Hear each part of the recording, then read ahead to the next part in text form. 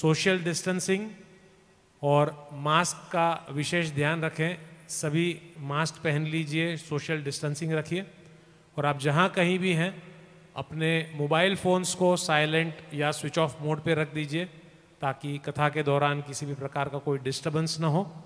आइए, राम जन्मोत्सव का आनंद लेते हैं और तत्पश्चात चतुर्थ सत्र प्रारंभ होगा। हरे कृष्ण।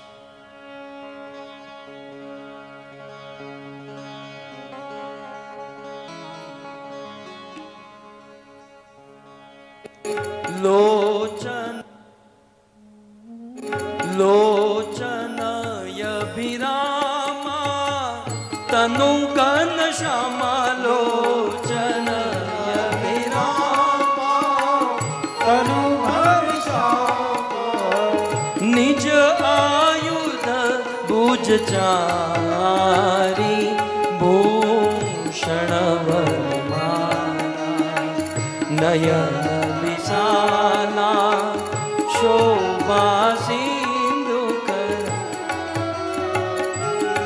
करुणा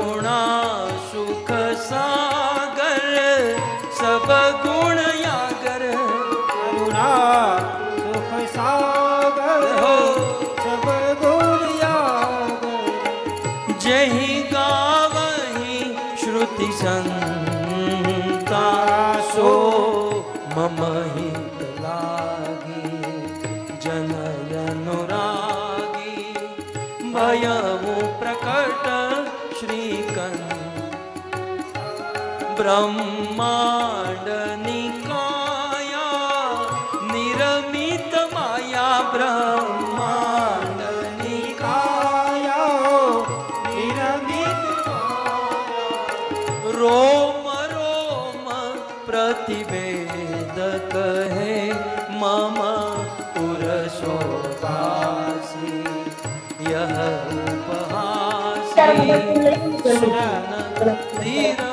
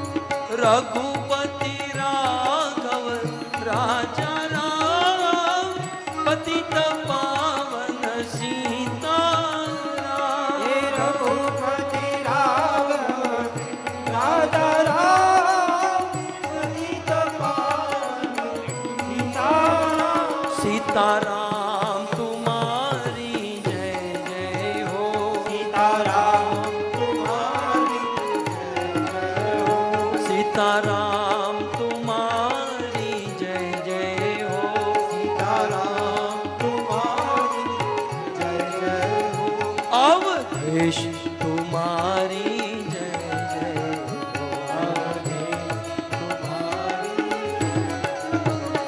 अवधेश तुम्हारी जय जय हो। तुम्हारी जय जय राजा राम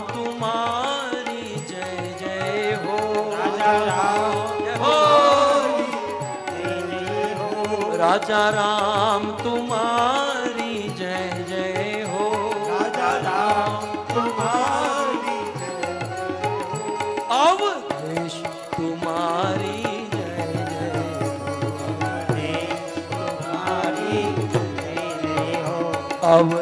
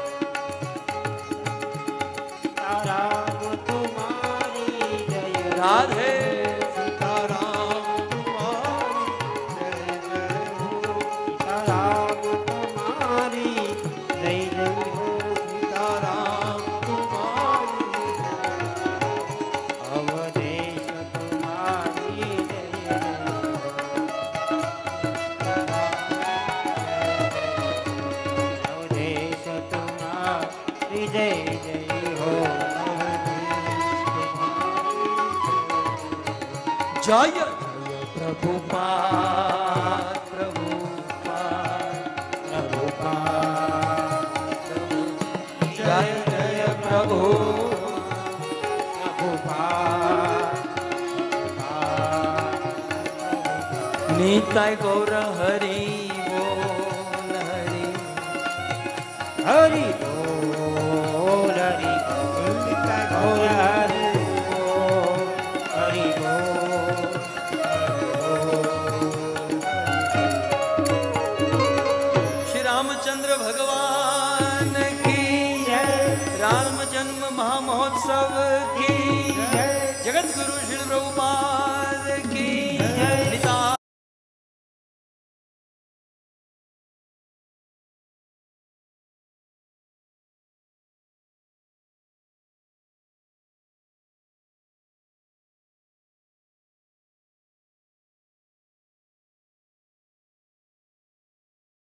सुंदर श्री राम जन्मोत्सव के दर्शन हम सभी ने किए। आइए विनंती करते हैं, गुरु और कृष्ण कृपा प्राप्त हिज ग्रेस श्रीमान लाल गोविंद प्रभु जी से, कि वे श्री राम कथा के चतुर्थ सत्र की कथा को प्रारंभ करें। हरे कृष्ण। राधे स्वामिनी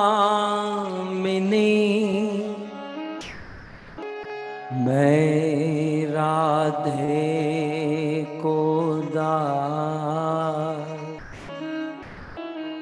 राधे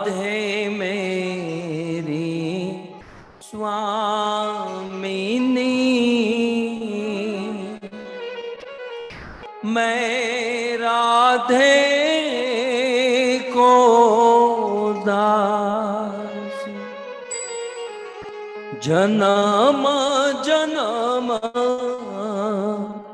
मोह दीजियो। श्री वृंदावन वास श्री वृंदावन वास राधा तू बड़ भागिनी। कौन तपस्या की तीनों लोक के नात है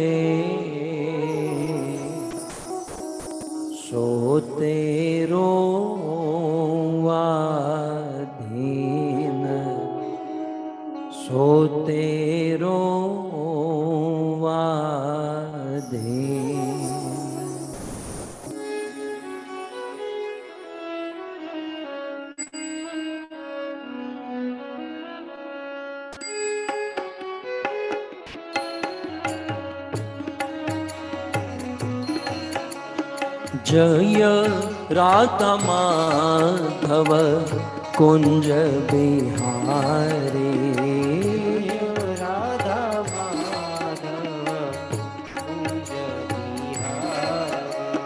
जय राधा माधव कुञ्ज राधाञ्जिहारे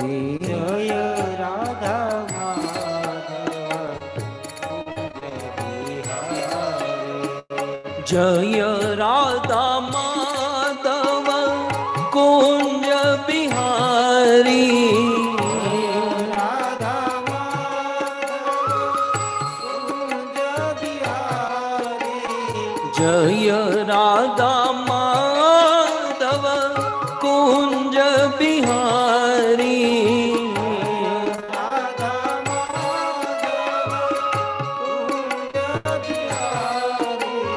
गोपी जनवल्लभ गिरिवर धारे।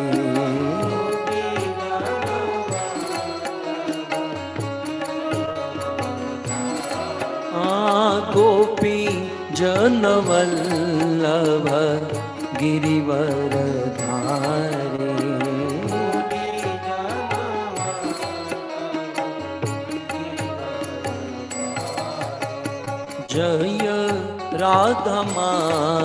ಮಾಧವ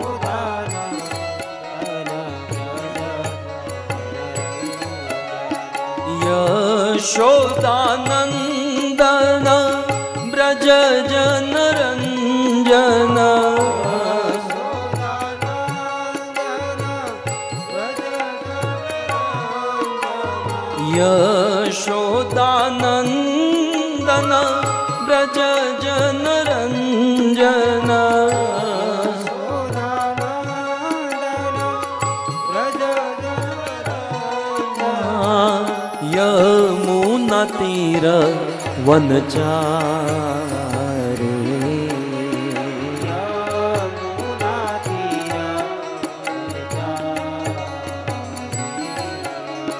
जय राधा माधव कुंज बिहार।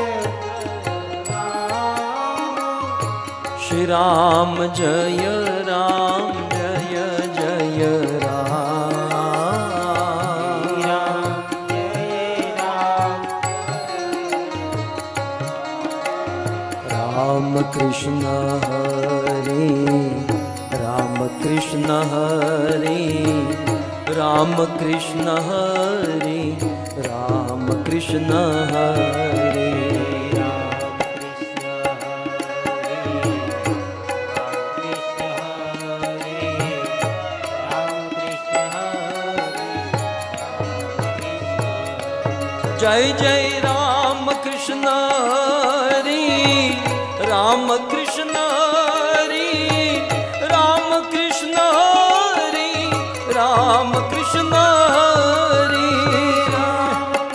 गाइए, भाव से।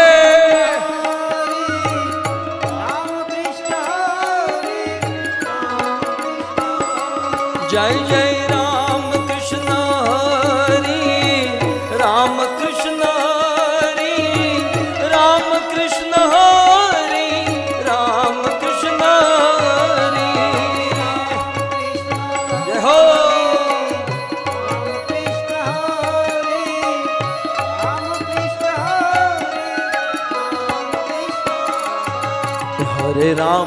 राम राम सीता राम राम। राम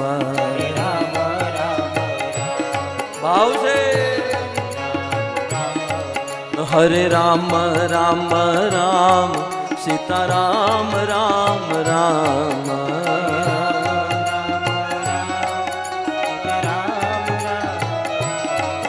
हरे राम राम राम सीता राम राम राम।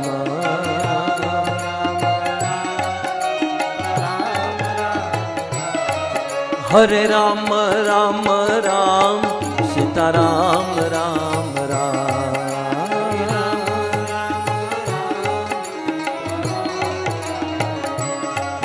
हरे राम राम राम सीता राम राम। राम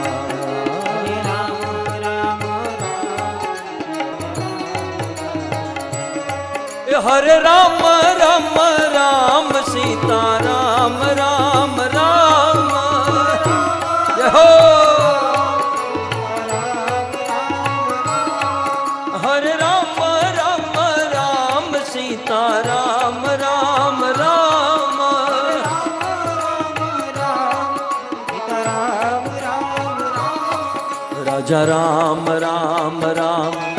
सीता राम राम राम। राजा राम राम राम। सीता राम राम राम। राजा राम राम राम। गाइए। राजा राम राम। राजा राम राम राम। सीता राम राम राम। राजा राम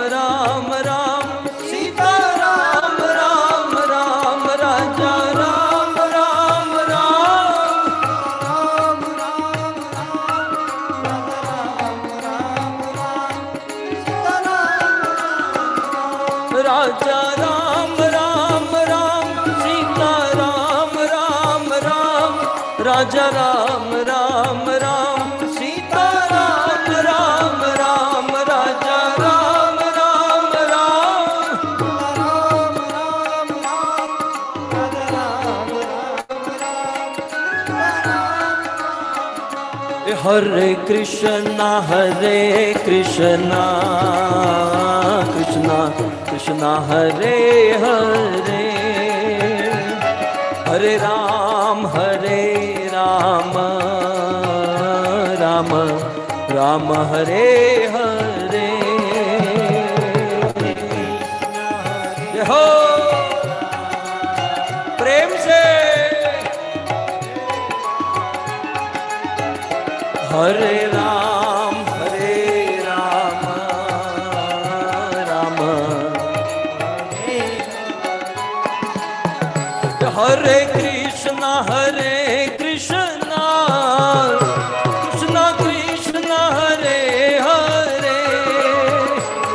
हरे राम।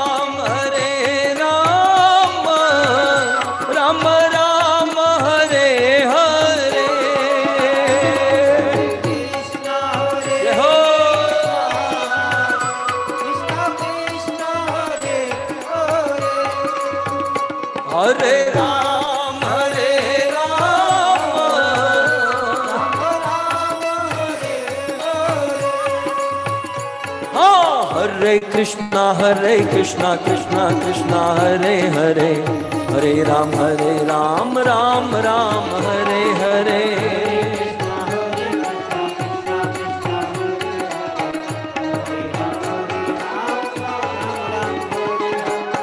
नाम महा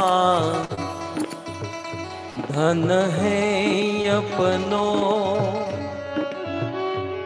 नहीं दूसरी संपत्ति और कमानी। नाम महा धन है अपनो। नहीं दूसरी संपत्ति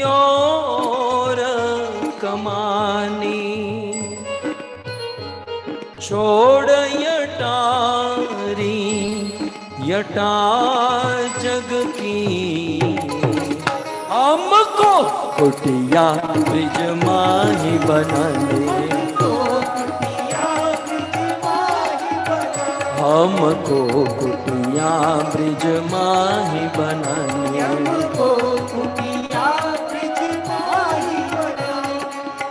टूक मिले रसिकों की सदा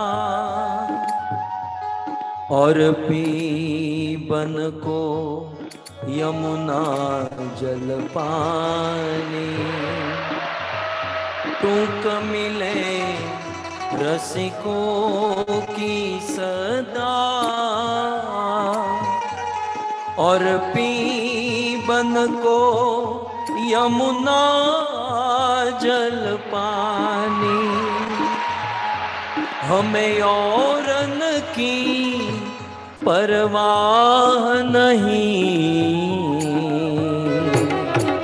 अपनी ठकुरानी शिराधिकारने अपनी ठकुरानी शिराधिकारने अपनी ठकुरानी श्री राधिका रानी अपनी राधा श्याम सुंदर राधा श्याम सुंदर राधा श्याम सुंदर राम जय श्री श्री राधा श्याम सुंदर। कृष्ण बलराम कृष्ण बलराम। कृष्ण बलराम, जय कृष्ण बलराम। बलराम जय श्री श्री कृष्ण बलराम। रघुपति राघव, राजा राम, पतित पावन सीताराम।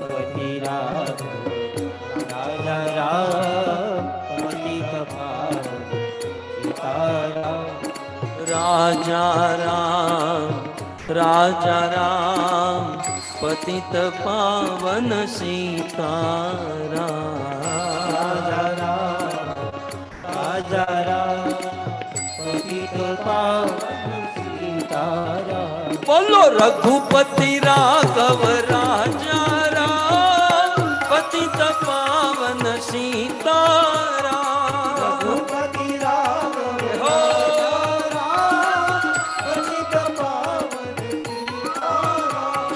गौर निताय जय गौर निताय गौर निताय जय गौर निताय निताय जय जय श्री गौर निताय आहा प्रभुपाद प्रभुपाद प्रभुपाद श्रील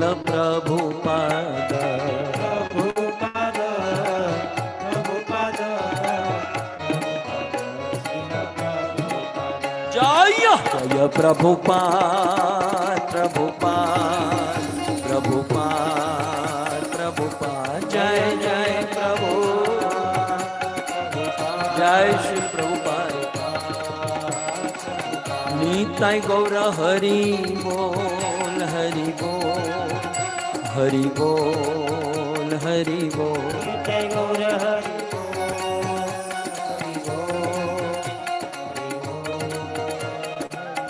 युग धर्म हरि नाम संकीर्तन की श्री रामचंद्र भगवान की ब्रज वृंदावन धाम की निताई गौर प्रेमानंद हरि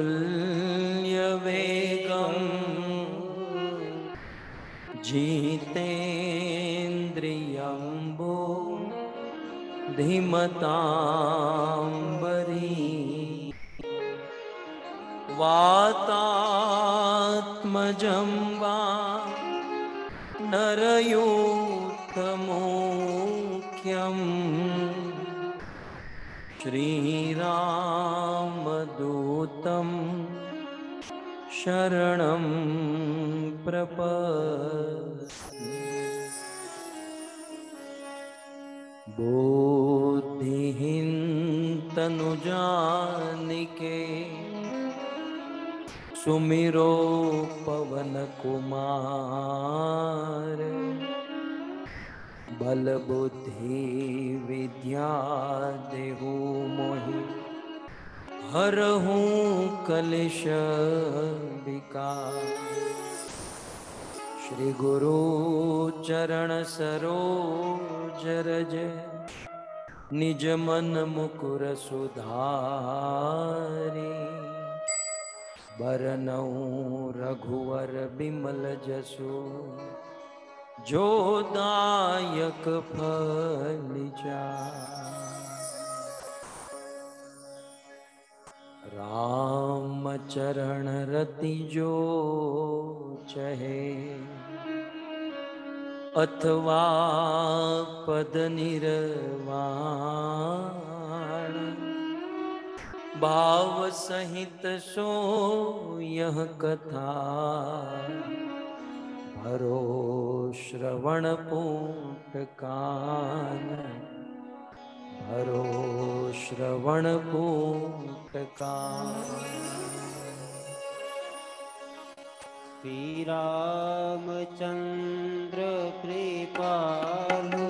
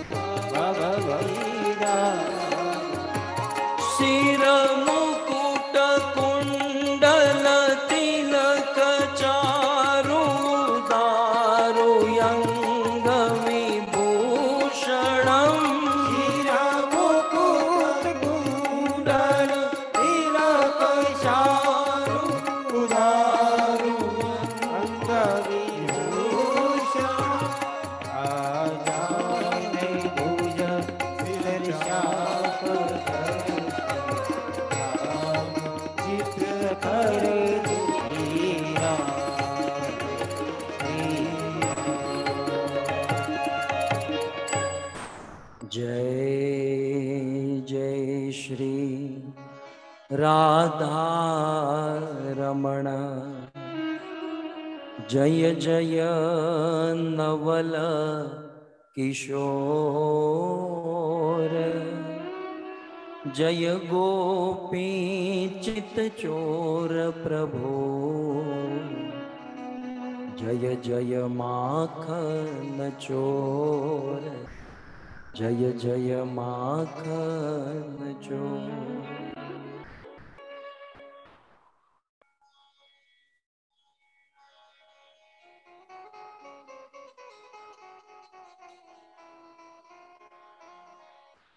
उपस्थित भगवत कथा अनुरागी, पधारे हुए भक्त वृंद इस सभा को परम सुशोभित करने वाले हमारे अंतर्राष्ट्रीय कृष्ण भावनामृत संघ, इस्कॉन के वरिष्ठ भक्तगण दूर दूर से, देश विदेश से, आधुनिक उपकरणों के माध्यम से, इस कथा का श्रवण करने वाले समस्त श्रोतागण एवं प्रिय सखी माता तथा समस्त पितरों की पावन स्मृति में ये सुंदर राम कथा का आयोजन करने वाले युग के निवासी श्री गोविंद जी, मूल जी, गगड़ा परिवार के समस्त सदस्य एक साथ बैठकर कोविड काल में ही सही लॉकडाउन में ही सही, परंतु बड़े भाव से, बड़े प्रेम से समस्त घगड़ा परिवार एक साथ इस कथा का श्रवण कर रहे हैं। सो आप सभी भक्तों का श्री राम कथा के चतुर्थ दिवस में पुनः एक बार हार्दिक स्वागत एवं आप सबके चरणों में हमारा प्रणाम। राधे श्याम।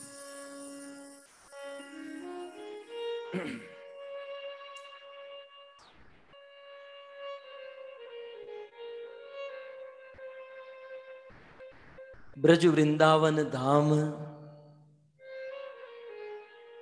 साक्षात भगवान श्री कृष्ण का अपना घर जब भगवान ने भारत के सभी तीर्थों का राजा तीर्थराज प्रयाग को घोषित किया। त्रिवेणी संगम गंगा यमुना सरस्वती। प्रयाग जब सभी तीर्थों का राजा हुआ। तो कुछ समय के बाद उन्होंने एक मीटिंग रखी। और भारत के सभी तीर्थों को बुलाया। सारे तीर्थ प्रयागराज के पास पहुँचे, लेकिन प्रयागराज ने देखा कि वृंदावन धाम नहीं आया। कल आपने सुना ना, जब किसी को पद मिलता है, पोस्ट मिलती है तो सहज अभिमान होना स्वाभाविक है। जब प्रयागराज ने देखा कि भारत के सभी तीर्थ मेरे बुलाने पर आए, परंतु ब्रज वृंदावन नहीं आया।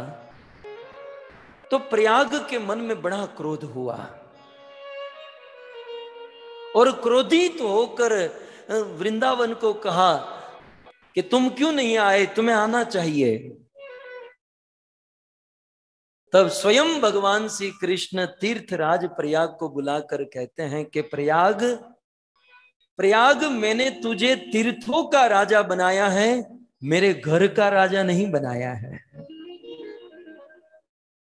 ये ब्रज वृंदावन कोई तीर्थ नहीं, ये ब्रज वृंदावन श्याम सुंदर का घर है। ये ब्रज वृंदावन मुझ कृष्ण का हृदय है। तो भगवान श्री कृष्ण का हाट हृदय स्वरूप श्री ब्रज वृंदावन धाम में, रामनवमी के पावन अवसर में गगड़ा परिवार के द्वारा आयोजित यह सुंदर राम कथा गत सत्र में हम सबने भगवान श्री रामचंद्र का जन्म उत्सव मनाया। यद्यपि भगवान रामचंद्र का जन्म तो हुआ, लेकिन कुछ आचार्यों ने यह स्वीकार नहीं किया। कि बोले, अब तक भी राम जन्म नहीं हुआ है, क्योंकि राम का जन्म केवल कौशल्या जी के सामने हुआ। जो मुख्य पात्र है, उनको तो अभी पता भी नहीं है। तो बहुत सुंदर कैलाश के शिखर पर देवादिदेव महादेव पार्वती को ये सुंदर राम कथा का श्रवण करा रहे हैं। ये मात्र कथा ही नहीं है। ये केवल कोई साधारण सी वार्ता नहीं है। कथा के साथ बहुत बड़ा दर्शन है। कथा के साथ बहुत बड़ी फिलोसॉफी चल रही है। कुछ लोगों ने रामायण को केवल काव्य कहा। बात सही है, रामायण काव्य है, इसे गाया जा सकता है, लेकिन काव्य के साथ साथ बहुत बड़ा सिद्धांत है। रामायण पंचम वेद है। स्त्री शुद्र द्विज बंधु नाम त्रैन श्रुति गोचर। स्त्री शुद्र और द्विज बंधु का अधिकार जब वेदों के ऊपर नहीं रहा, तब वेदव्यास मुनि ने रामायण का निर्माण किया। इतिहास का निर्माण हुआ। सारे वेदों का निचोड़ इस इतिहास में रामायण में रख दिया गया। ये मात्र वार्ता नहीं कथा के साथ बहुत बड़ी सीख, शिक्षा, उपदेश, सिद्धांत प्राप्त होता है। श्री चैतन्य महाप्रभु हमें सिखाते हैं, शिल प्रभुपाद हमें सिखाते हैं कि कथा के साथ साथ जो कथा का दर्शन है, जो सिद्धांत है, जो फिलोसॉफी है, ये कथा की बैकबोन है। ये रीढ़ की हड्डी है, यदि कथा में से सिद्धांत निकल जाए तो कथा का कोई वज़न नहीं रहता, कोई वेट नहीं रहता। इसलिए पूरा प्रयास किया जा रहा है कि कथा के साथ साथ कथा के पीछे जो दर्शन है, जो सिद्धांत है, हम उसे भी समझते चले। अब देखो, कल ही आपने सुना कि सारे देवता परेशान हुए। रावण का बड़ा अत्याचार हुआ और रावण ने जीना मुश्किल कर दिया। देवी पृथ्वी बहुत आक्रांत हुई और आक्रांत भूरी भारेण ब्रह्मांडम शरणम यो पृथ्वी ब्रह्मा के पास गई। ब्रह्मा ने समस्त देवी देवताओं को बुलाया और भगवान को स्तुति करने लगे। और भगवान ने कहा कि आप निश्चिंत रहो, बहुत जल्द अवतार लूँगा और दुष्टों का विनाश करूँगा, पृथ्वी का भार दूर करूँगा, साधु संतों को आनंद दूँगा। ये कथा आप सब जानते हैं। सिद्धांत क्या है? जब भगवान चले गए, जब भगवान की वाणी अदृश्य हुई, सारे देवता अपने अपने स्थान पर जा रहे थे, तब ब्रह्मा जी ने कहा कि देवताओं अपने अपने स्थान जाओ, लेकिन अपने एक अंश से रीछ, वानर, भालू, पशु पक्षी के रूप में धरती पर जन्म ले लो, ताकि हम राम सेवा कर सके, राम लीला में भाग ले सके। और सारे देवता, रीछ, भालू, वानर आदि बन गए। और भगवान रामचंद्र की लीला में सहायता की है। अब देखिए सिद्धांत फिलोसॉफी क्या है? जिस रावण के अत्याचार से सारे देवता परेशान, जीना मुश्किल, और वे देवता बड़े दुखी हो गए और भगवान की शरण में गए। लेकिन उन देवताओं ने भोग भोगना छोड़कर जब भगवान की सेवा में लग गए वानर रीछ भालू के रूप में तो उन्हीं देवताओं ने रावण को हरा दिया। भोग भोगने वाले लोग जब भोग देना सीख जाए तो जीवन में क्रांति हो जाए। हमारा क्या है ना भोग भोगते रहते हैं और जीवन में अनेकों प्रकार की परेशानियों से घिर जाते हैं।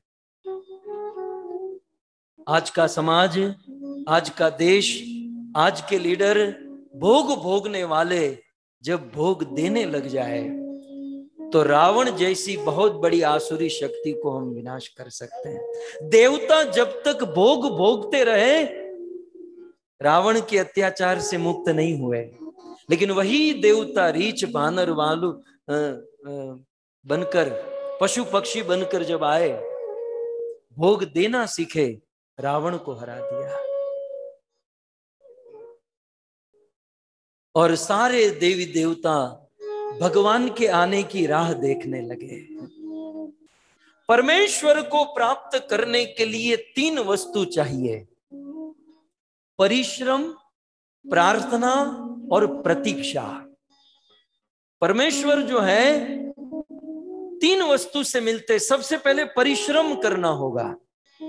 कुछ लोग कहते ना, हम भगवान में नहीं मानते हैं। हम कहते हैं, मानिए भाई राम कृष्ण को मानना चाहिए। यदि भगवान है तो हमको दिखा दो। हम भगवान को नहीं देखते, इसलिए हम भगवान को नहीं मानते। भगवान अत्र तत्र सर्वत्र सब जगह पर है। श्रीमद भागवत जी तो यहाँ तक कहती हैं वदंती तत्व तत्व यत ज्ञानम अद्वयम। ब्रह्मेति परमात्मेति भगवान इति शब्द थे।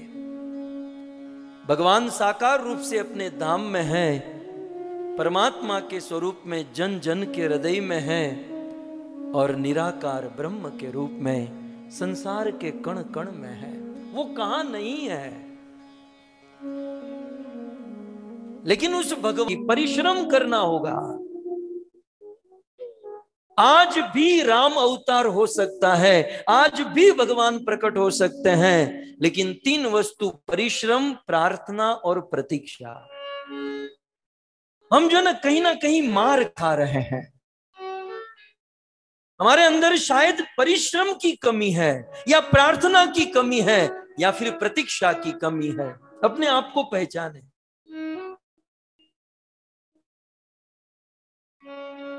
भगवान जो है, उसे प्राप्त करने के लिए मेहनत करनी पड़ेगी। परिश्रम, सबसे पहले परिश्रम करना होगा। ब्रह्मा जी, श्रीमद भागवत के अष्टम स्कंद के छठे अध्याय में एक बहुत सुंदर बात करते हैं।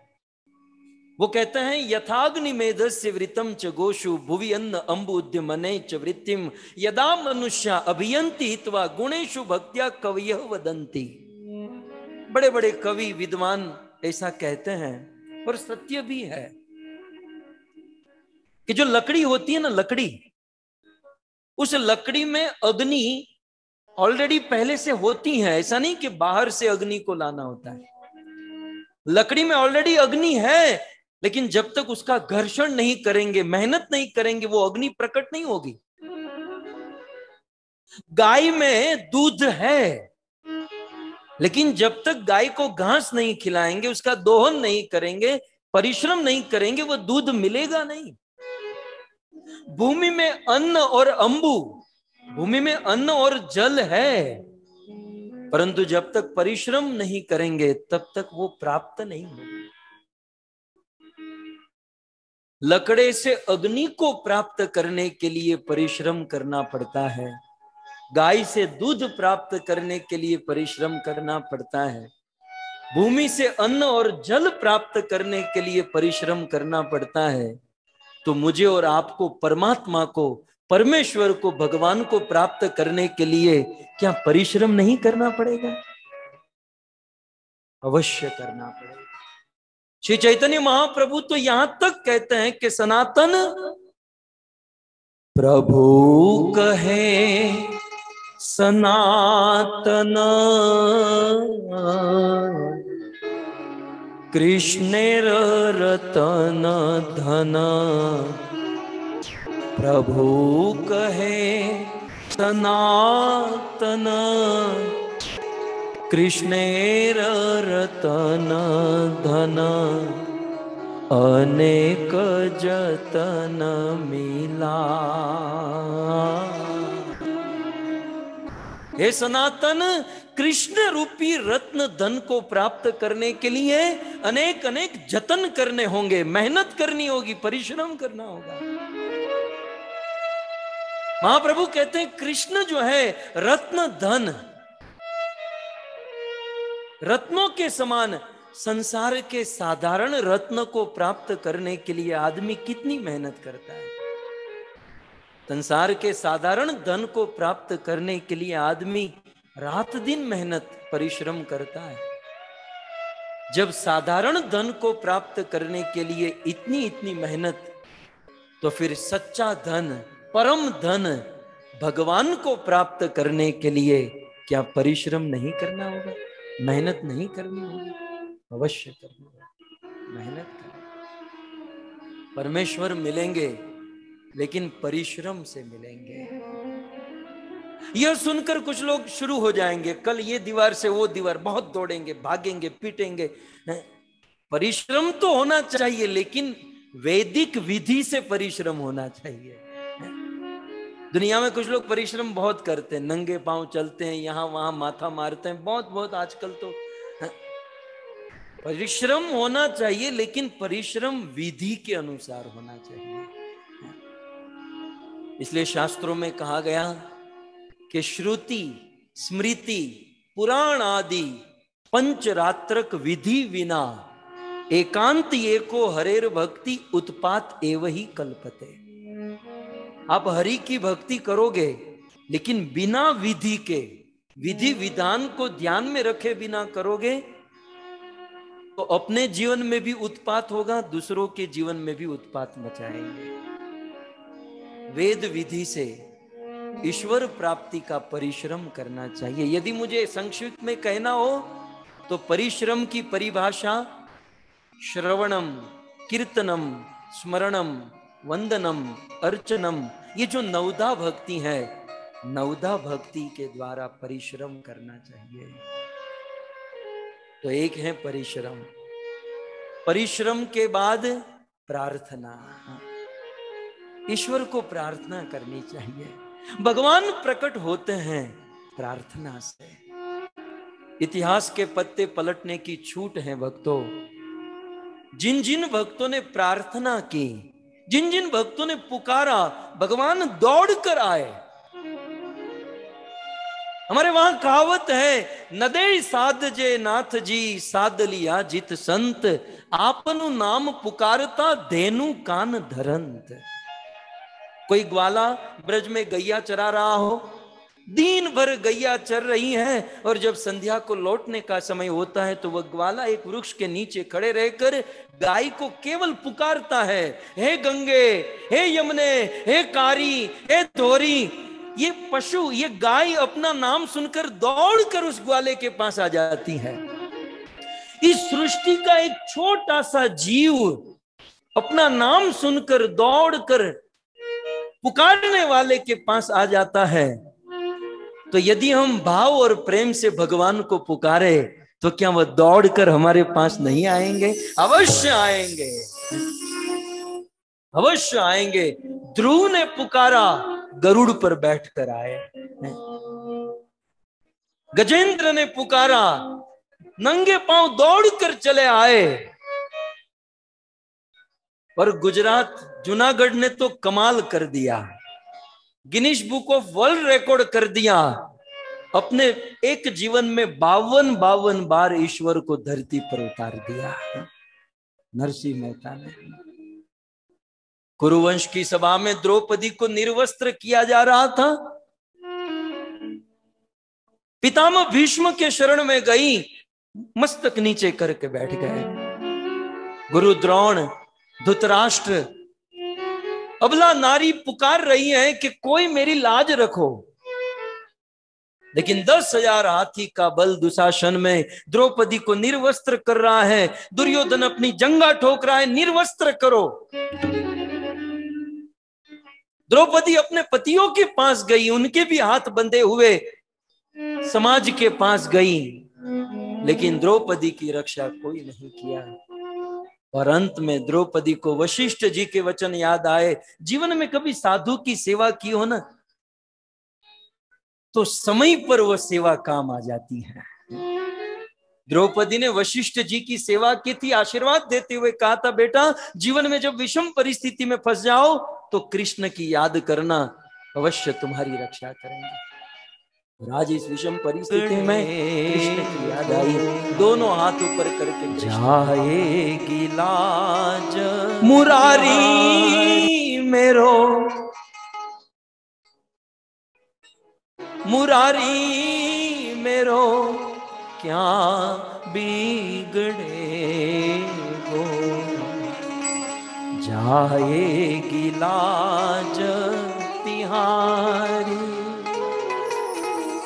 हे मुरारी, मैंने आपको पुकारा है। और अब आप नहीं आए तो मुझे कोई चिंता नहीं है, मुझे मेरी चिंता नहीं है। कृष्ण, अब तो मुझे तुम्हारी आपकी चिंता हो रही है, क्योंकि हम आपके हैं। हम आपको बीक चुके हैं, हम आपके हो चुके हैं, और अब यदि हमारे जीवन में लाज गई तो ये हमारी लाज नहीं मुरारी। लाज तेरी जाएगी। द्रौपदी ने पुकारा, सोने के सिंहासन से खड़े होकर दौड़कर नंगे पाँव कृष्ण आए। कहने का भाव यह है, रामायण के इन प्रसंगों में बहुत बड़ा दर्शन, बहुत बड़े सिद्धांत बताए गए हैं। ईश्वर आज भी प्रकट हो सकते हैं, उनके लिए परिश्रम करें, फिर प्रार्थना करें। जैसे द्रौपदी ने की, गजेंद्र ने की, ध्रुव ने की, कुंती ने की, पितामह भीष्म ने की।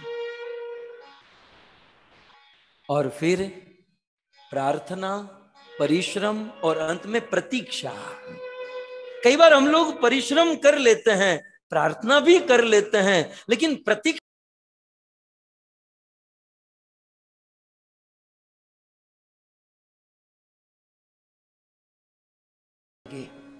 ठीक उसी प्रकार ईश्वर को आने के लिए कुछ समय होता है और उस समय की राह हमें देखनी चाहिए। प्रतीक्षा। प्रतीक्षा। कुछ लोग कहेंगे, हम प्रतीक्षा करते तो है। हमारी प्रतीक्षा बहुत ढीली है। प्रतीक्षा कैसी होनी चाहिए, जानते हैं?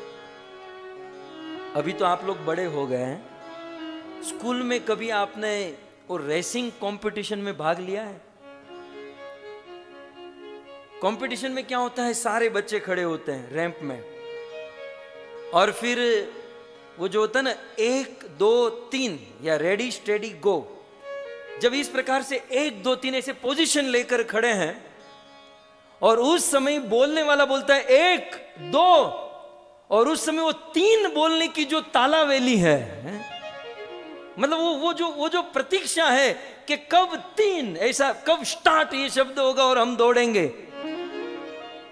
ऐसी जो प्रतीक्षा हम वो तीन शब्द सुनने की रखते हैं, उतनी ही प्रतीक्षा भगवान के दर्शन की, भगवान की प्राप्ति की रखेंगे, तब जाकर भगवान प्राप्त होंगे।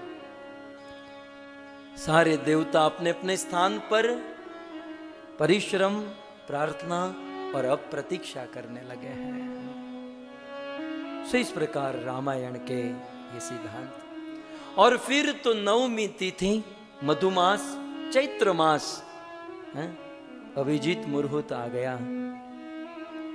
भगवान रामचंद्र ने नवमी तिथि के दिन जन्म लिया। इस पर भी आचार्यों ने बहुत कुछ लिखा है। नवमी नवमी के दो अर्थ नवमी माने नाइन्थ नौ, संख्या। और नवमी माने नमस्कार। नवमी जनक सुतावरम, हम लोग गाते हैं ना? नवमी माने नमस्कार। ये ऐसी तिथि है जिसको स्वाभाविक नमस्कार होता है। भगवान रामचंद्र नवमी तिथि को ही जन्म लेते हैं। क्यों? क्योंकि नौ अंक जो है वो सबसे बड़ा अंक है। यदि कोई पूछे कि जितने भी अंक हैं, उन अंकों में सबसे बड़ा अंक कौन सा?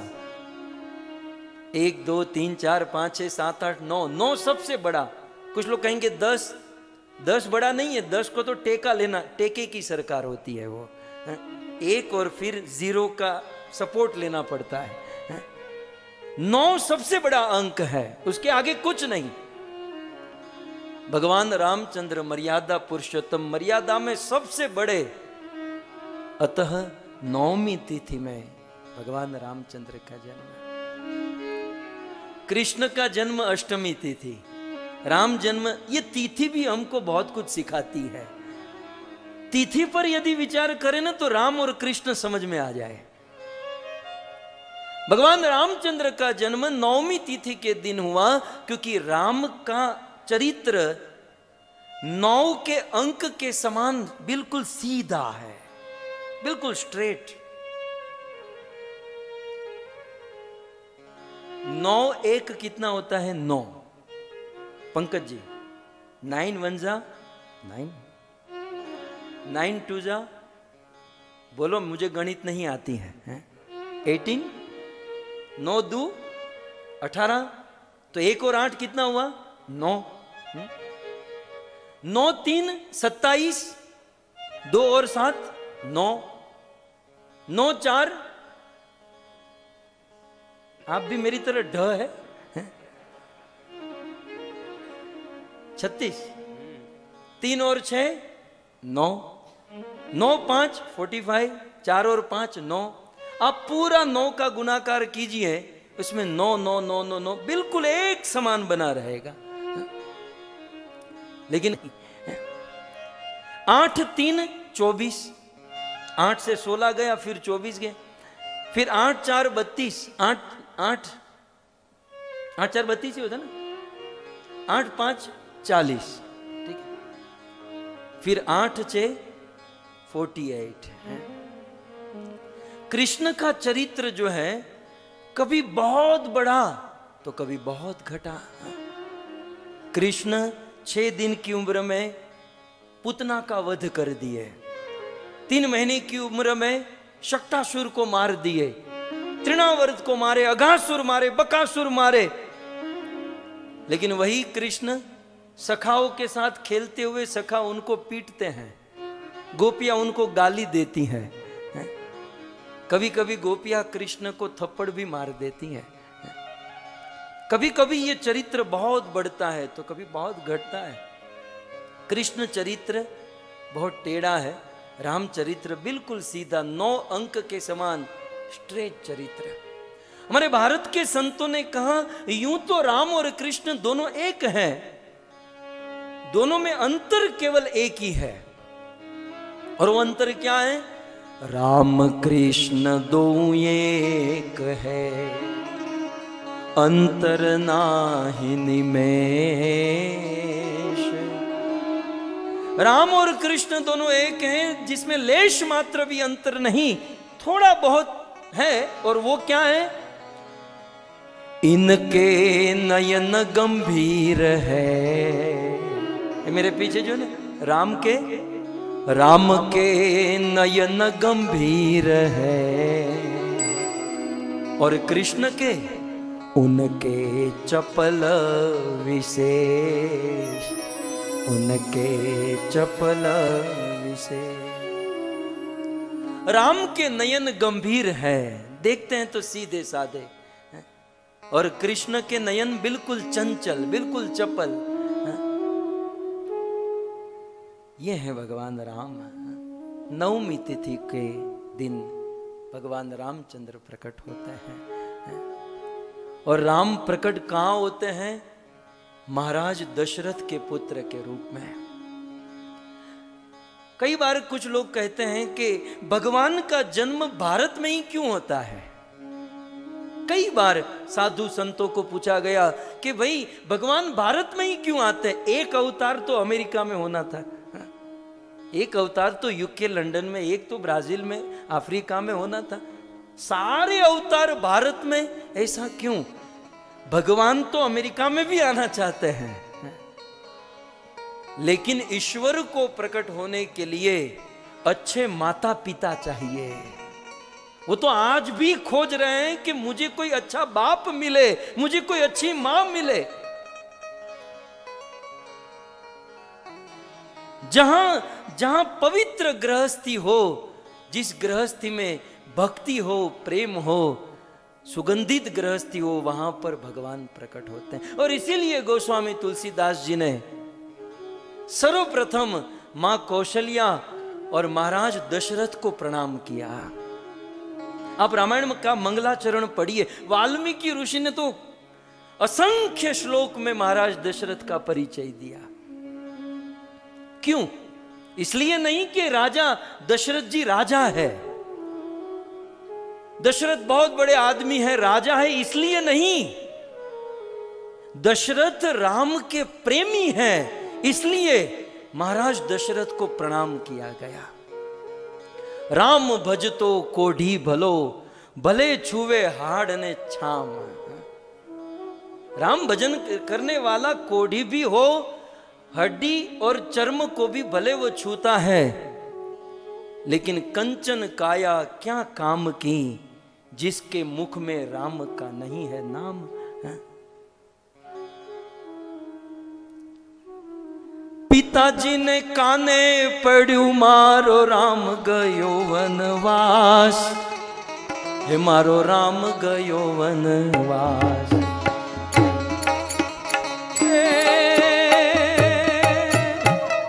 पिताजी ने काने पड़ू राम गयो वनवास।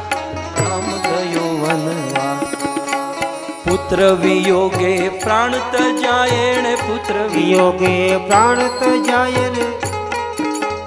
मर जो ये वो साथ बनू पिता तो बनू ये वो।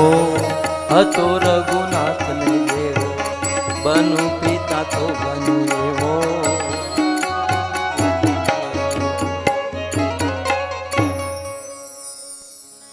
पिता हो तो दशरथ जैसा। और पति हो तो भगवान रामचंद्र जैसा मृग मारियाम मढुली આવ્યાન ન મળે સીતા નાર મૃગ મારી આમ મઢુલી આવે ન મળે સીતા નાર હાસિત હાસિત એમ પુકારે હે સીત હે સીત એમ પુકારે આંખમાં આંસુની ધાર બનુ પતિ તો બનો એવો હતો સતી સીતને જેવો गोस्वामी जी ने बहुत सुंदर बात कही मैं दशरथ को प्रणाम कर रहा हूं इसलिए क्योंकि वो राम के प्रेमी है उनका जीवन ही राम है। ऐसे महाराज दशरथ के घर पर भगवान रामचंद्र प्रकट हुए। राजा दशरथ को पता नहीं है। देखिए, कृष्ण का जब जन्म हुआ, कंस के कारागार में, यहीं पर, ब्रज में तो भगवान श्री कृष्ण का प्रथम दर्शन किसने किया? वसुदेव जी ने। माँ देव की मूर्छित अवस्था में थी और कृष्ण का जन्म होते ही प्रथम दर्शन वसुदेव जी ने किया। राम अवतार में कुछ अलग है। राम अवतार में भगवान रामचंद्र जब नवमी तिथि के दिन दोपहर को 12 बजे प्रकट हुए तो सर्वप्रथम दर्शन माँ कौशल्या ने किया। और जैसे ही भगवान रामचंद्र को अपने समक्ष देखा भय प्रकट कृपाला, दीन दयाला, कौशलिया हितकारी।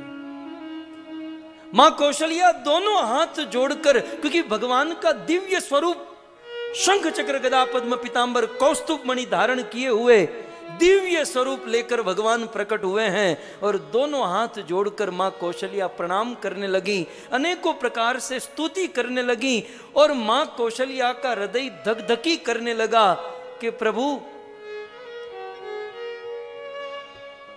ब्रह्मांड निकाया नीर रमित माया, रोम रोम प्रतिवेद कहे, सो मम उर लागी, यही उपहासी सुनत धीर, मति धीर।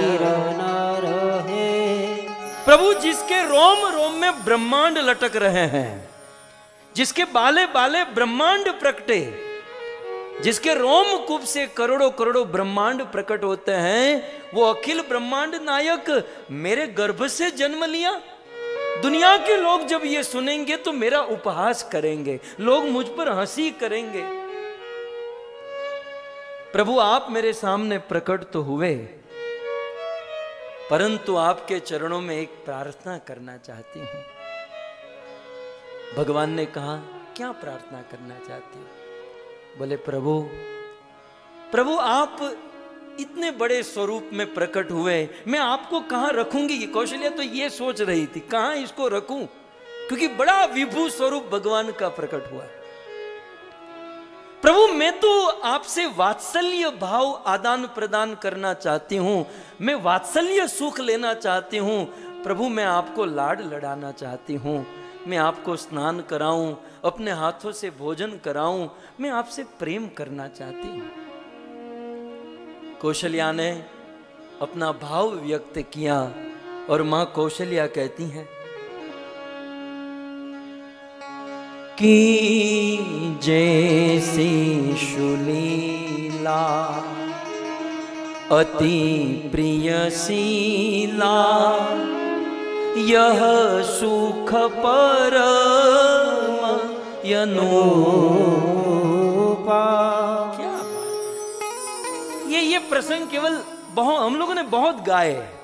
हमारे देश ने ये सब स्तुति प्रसंग बहुत गाए, इसके पीछे सिद्धांत कितना बड़ा छुपा है। माँ कौशल्या कहती है, प्रभु, आपको भगवान मानने से जो सुख और जो आनंद मिलता है ना, उससे करोड़ों करोड़ों गुना अधिक आनंद आपको बेटा मानने से मिलता है। कि जय शिशु लीला, अति प्रिय शीला, यह सुख परम अनुपा। भगवान मानने में उतना सुख नहीं है जितना आपको बेटा मानने में सुख है। ये हमारी ओर से, भगवान की ओर से क्या? एक बात बताऊँ, अंदर की बात है। किसी को कहना मत। हम जब राम को और कृष्ण को भगवान कहते ना, भगवान सोचते हैं, ये मुझे गाली दे रहा है? ईश्वर को अच्छा नहीं लगता। हम भगवान को, कृष्ण को, राम को जब कहते हैं, ये ईश्वर, ये भगवान तो जानते हैं, राम, कृष्ण को क्या फीलिंग होता है? मान लो आप अपने घर पर बैठे हो, आपके घर पर कुछ अतिथि आए हैं, चर्चा चल रही है, और फिर आपके पतिदेव घर पर आए, और कोई आपको कहे कि ये कौन आया? तो आप कहो, मनुष्य आया है। कोई पूछे आपको, ये कौन आया? ये मनुष्य आया। तो मनुष्य, जानवर थोड़ी है?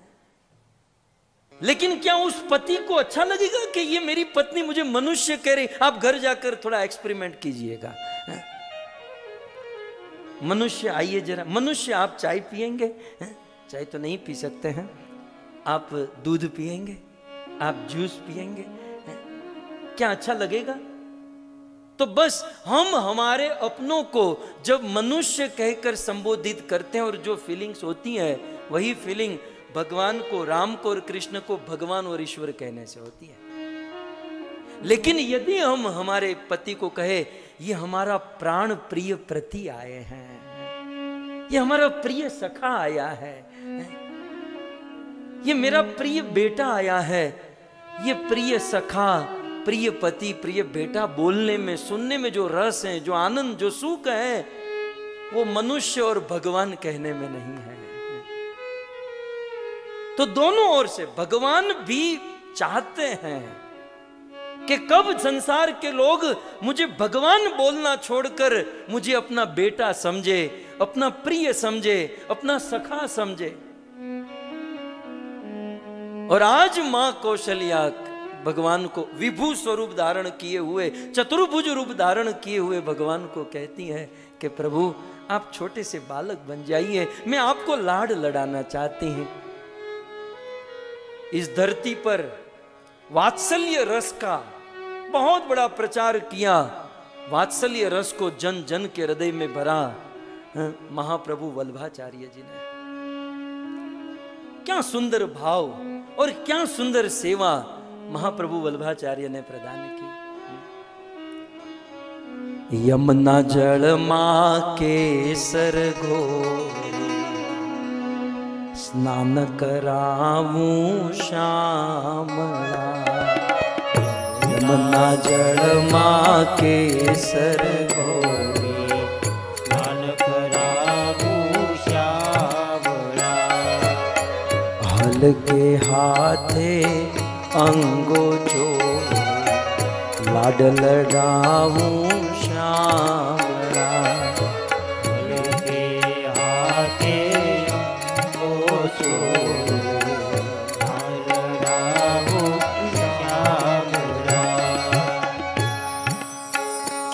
सुंदर भाव है कि यमुना का जल और उसमें केसर डालकर श्याम सुंदर को स्नान कराऊं, राघव को स्नान कराऊं। लेकिन आज का आदमी कहे, केसर कितना महँगा है, जानते हो आप? एक तो एक साल से लॉकडाउन पड़ा है, मंदी चल रही है और केसर खाने को नहीं है और स्नान कराएँगे। सिद्धांत है शास्त्रों का, समझ लीजिएगा। भगवान की सेवा हम जितनी उत्तम उत्तम वस्तु से करेंगे, भगवान भी हमारा जीवन उतनी उत्तम वस्तुओं से भर देंगे। स्वभाव से। और फिर भी आपको महँगा पड़ता है तो गाने में तो कोई पैसा नहीं लगता है। खरीद कर यमुना जल लाकर स्नान कराने में जो फल मिलता है, वही फल गाने से मिलता है, भाव से। यमुना जल माँ के सर घोड़ी, स्नान कराऊं श्यामला। यमुना जल माँ के सर घोड़ी, स्नान कराऊं श्यामला। के हाथे अंगो चोर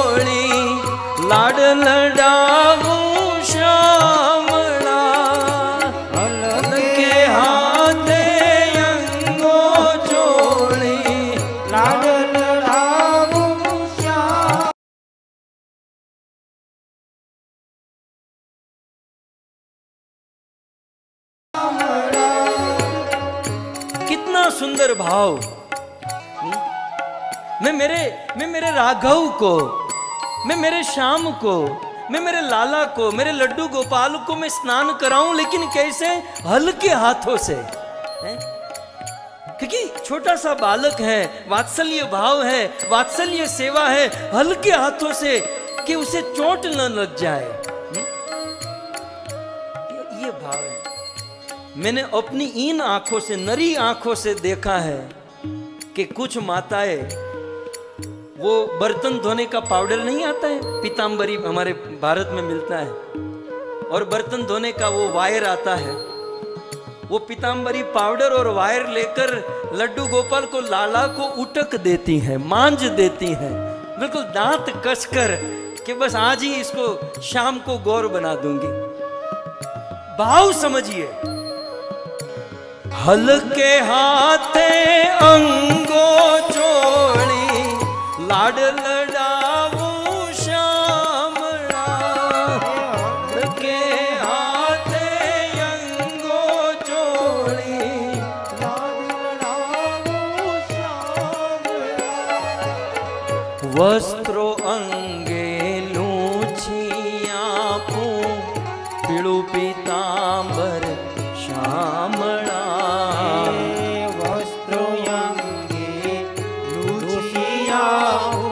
साफ़ कीजिए। भगवान को भाव से। तिल सुगंधी माखिया वाकड़िया तारा वाड़ सुगंधी हो। वाकड़िया यमुना चढ़ स्नान कराऊ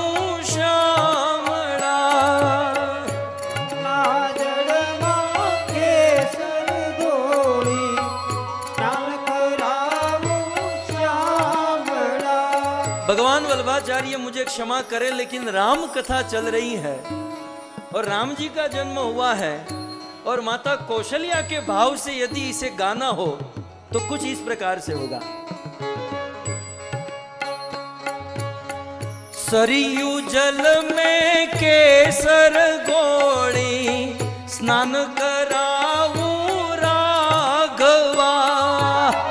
सरयू जल में केसर गोड़ी, स्नान कराऊ कुम कुम के तिलक सजाऊ त्रिकम तारा भाल अलबेली आँखों माँ, अंजन मारा बाल यमुना चढ़ मा के सर घोड़ी।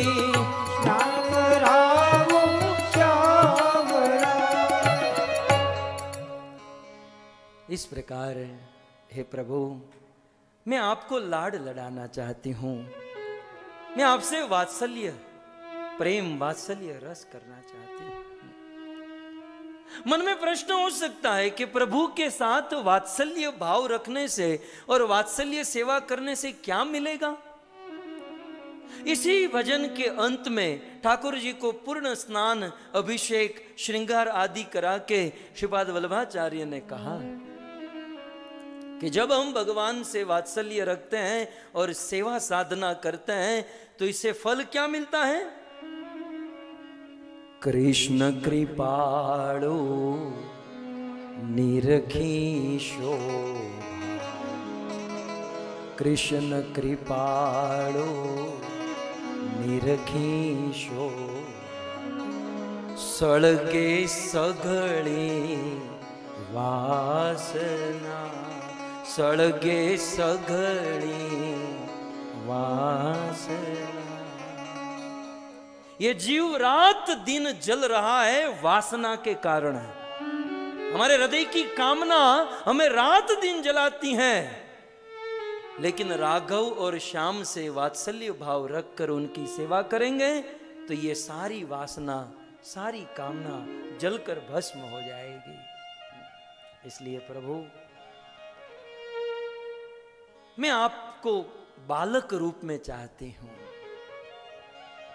कि जे शिशु लीला, अति प्रिय शीला क्योंकि यह सुख परम अनुपा भगवान ने कहा कि बालक बन जाओ। ठीक है तो माँ सिखाओ, अब बालक कैसे बना जाता है? क्योंकि मैं तो भगवान हूँ।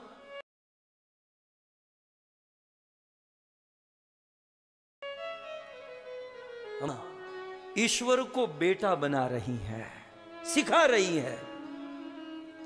माँ कौशल्या कहती है कि सबसे पहले ये चार भुजा जो है ना, बिल्कुल बेढंगी लग रही है। नॉर्मल कंडीशन नहीं है। ये दो भुजा माइनस करो, चलो। चलो, ये दो माइनस करो। है ना, आज हम बोलने सुनने में अच्छा लगता है। चार भुजा वाला कोई यहाँ आ जाए तो कैसा, क्या लगेगा हमें? तो पहले दो माइनस करो नॉर्मल कंडीशन हो जाओ भगवान ने दो भुजा माइनस बोले, अब माँ, अब क्या करूँ? बोले, साइज़ छोटी करो, ये इतने विभू बनकर आए, मारी पाए, वो घोड़ियों નથી हैं? मेरे पास ऐसा पालना नहीं है कि आपको सुलाऊं, हैं? खोया तोड़ दोगे आप?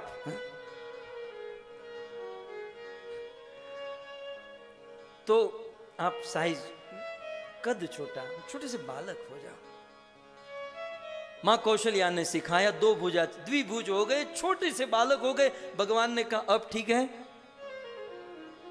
माँ कौशल्या ने कहा, अभी भी ठीक नहीं है। बोले, अभी भी ठीक नहीं, अभी भी ठीक नहीं है। बोले, अभी भी ठीक नहीं है, अब अब क्या कमी है? बोले, जब इस दुनिया में कोई बालक का जन्म होता है तो वो रोता है। चलो, रोने लगो। भगवान कहते हैं कि मैं तो सुखी आदमी मुझे कौन सा दुख पड़ा है कि मैं रोऊं? रोते तो दुखी आदमी हैं, मैं क्यों रोऊं? तब माँ कौशल्या कहती हैं कि प्रभु, आपको कोई दुख नहीं है, लेकिन आपके भक्तों के जीवन में दुख आए हैं, इसलिए आप रो जब हम अतिथि बनकर किसी के घर जाते हैं और उस घर में कोई दुख आया है तो उनके घर के दुख से लेकर अतिथि भी दुखी होता है। तो प्रभु, आप अतिथि बनकर धरती पर आए हो, आपको दुख नहीं है, लेकिन हमारे जीवन में, इस संसार में दुख है। अपने भक्तों को दुखी देखकर आप दुखी, आप रो। अपने भक्तों का रोना आप अपने जीवन में ले लो।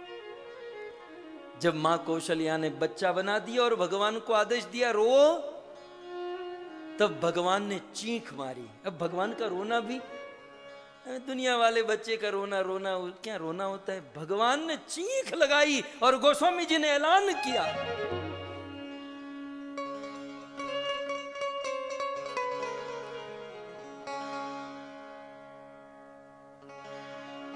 सूरा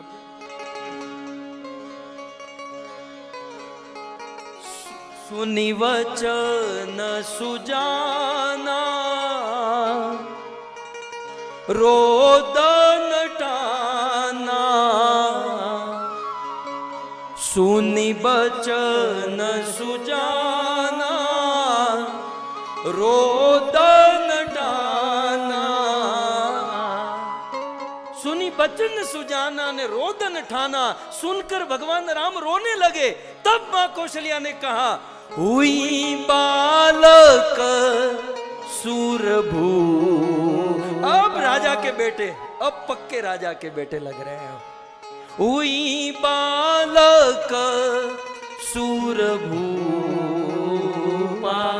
और गोस्वामी तुलसीदास जी कहते हैं, जो रामचरित्र को गाएगा, यह चरित जगावही हरि पद पावही, ते न परही भवकूपा। रामचरित्र को जो गाएगा, वो हरि पद पाएगा, वो कदाचित कभी भी संसार के कूप में, भवसागर में कभी नहीं गिरेगा। तो अब भगवान रामचंद्र, अब तक तो ये सब ऑपरेशन चल रहा था।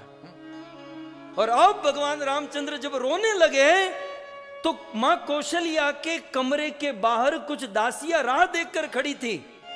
कि कब जन्म होगा, कब जन्म होगा। और अंदर कमरे से जब रोने की आवाज़ आई, उन दासियों ने सुना। दासियों ने देखा सुंदर बालक का जन्म। दासिया दशरथ जी को कहने के लिए दौड़ी। उन दासियों के मन में होड़ लगी, मैं पहले बताऊँगी, मैं पहले बताऊँगी मुझे उपहार मिलेगा, मुझे भेंट मिलेगी। और दासियाँ हाँफते हाँफते दशरथ जी के पास, महाराज महाराज, आपकी बड़ी रानी कौशल्या के गर्भ से सुंदर बालक का जन्म हुआ है। इतना सुनते ही महाराज दशरथ नाचने लगे। अब राम जन्म हुआ। दशरथ पुत्र जन्म शूनिका मानहु ब्रह्मा नंद समाना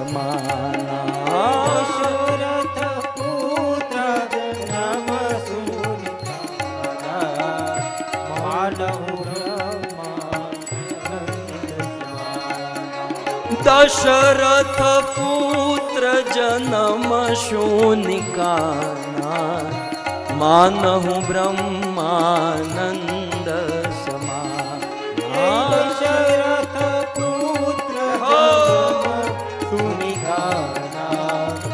मानहु ब्रह्मानंद लगभग सारे बाप बैठे हैं। सारे बाप बैठे हैं इंक्लूड मी ऑल्सो हमारे जीवन में जब पहले बेटे का जन्म होता है तो बाप कितना खुश होता है पंच महाभूत का देह, पंच महाभूत का शरीर आज है, कल नहीं। लेकिन फिर भी एक बाप को कितना आनंद होता है, जिसके घर पर साक्षात पर ब्रह्म साक्षात ईश्वर बेटा बनकर आया हो। और राजा दशरथ इतनी लंबी उम्र में जब घर पर बेटे का जन्म हुआ हो, जब दशरथ जी ने यह सुना कितना आनंद जिसकी कोई सीमा नहीं। दशरथ पुत्र जन्म शूनिका मानहु ब्रह्मानंद समाना। दशरथ पुत्र जन्म परमानंद ब्रह्मानंद होने लगा। महाराज दशरथ मन में सोचने लगे जाकर नाम सुनत शुभ हो मेरे गृह आवा प्रभु सोई। नाम सुनत शुभ हो मेरे गृह आवा प्रभु। जिसका एक बार जीवा पर कोई नाम ले ले जिसका एक बार नाम लेने से जीवन में मंगल ही मंगल, शुभ ही शुभ हो जाता है। वो ईश्वर, वो पर ब्रह्म वो परमात्मा, वो भगवान मेरे घर पर बेटा बनकर प्रकट हुआ है। ब्राह्मणों को बुलाओ, स्वस्ति वाचन कराओ, ढोल नगाड़े, बाजे बजवाओ। महाराज दशरथ आज चल नहीं रहे हैं, आज दौड़ रहे हैं। अवधपति, महाराज दशरथ कभी तेज गति से चले नहीं हैं। पुत्र का जन्म सुना महाराज दशरथ दौड़ने लगे। परमानंद पुरी मन राजा कहा बोलाई बजावहु बाजा। परमानंद हो। हाँ, हाँ, हाँ, आप कल्पना कीजिए दशरथ जी दौड़ कर जा रहे हैं तब तक तो दूसरी दासी आई। महाराज महाराज आपकी दूसरी पत्नी सुमित्रा के गर्भ से दो दो बालक जन्म लिए हैं और नाचने लगे। तब तक आगे गए और एक दासी आई। कई कई के गर्भ से सुंदर बालक का जन्म। एक ही दिन में चार चार बालक का जन्म। महाराज दशरथ खुशी के मारे पागल। महाराज दशरथ के वहाँ सारे अयोध्या वासी सुंदर सुंदर भेंट लेकर आने लगे, सुंदर उपहार लेकर आने लगे और आज अयोध्या में आनंद छा गया। अवध में आनंद भयो। जय हो राजा राम। के। अवध में आनंद भयो। जय हो राजा राम। जय हो राजा राम की जय हो बाल राम की। जय हो राजा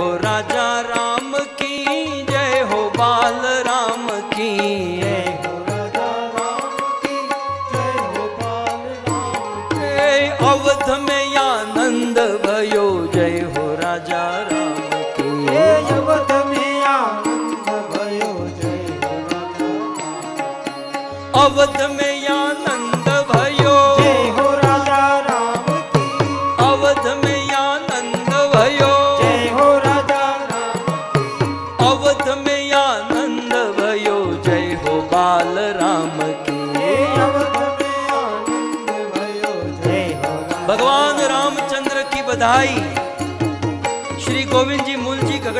परिवार सुंदर राम कथा का आयोजन और आज तीसरे और चौथे दिन में भगवान रामचंद्र का प्राकट्य।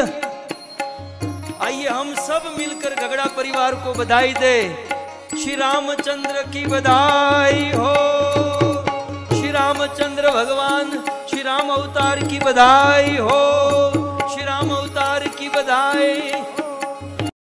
प्रशांत भाई प्रशांत मुकुंद प्रभु, चंद्रिका माता, अजित भाई पुष्पा बेन रासेश्वर कृष्ण प्रभु, कमलेश भाई, संगीता बेन, मयूरू भाई बिजल बेन। बे मिनट तो उभू थवू पड़े। भगवान का जन्म हुआ है, दो मिनट खड़े होकर भाव से। अवध में आनंद भयो, जय हो राजा राम की।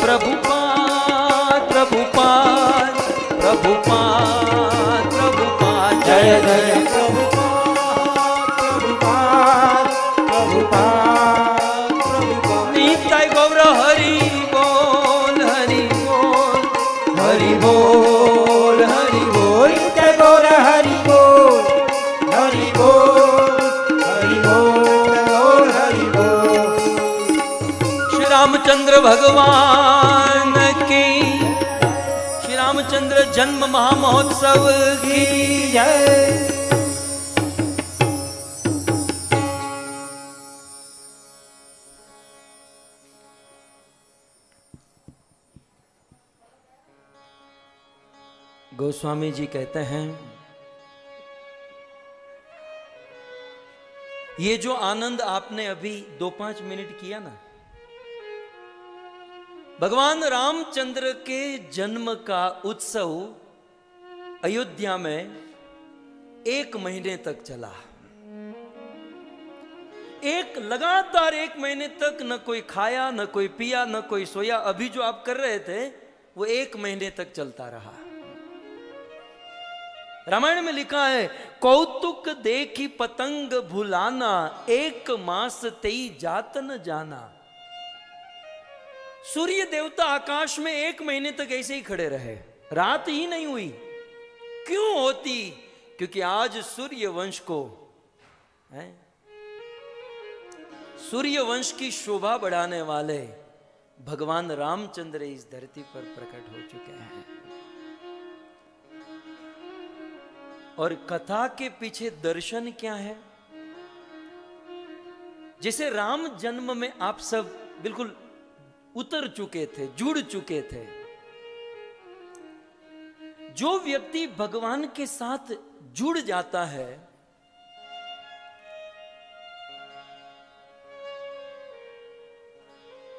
उसके जीवन में काल समय उनको बाधा नहीं दे सकता। दृष्टांत। भागवत जी की पोथी यात्रा में आप कभी भाग लिए होंगे।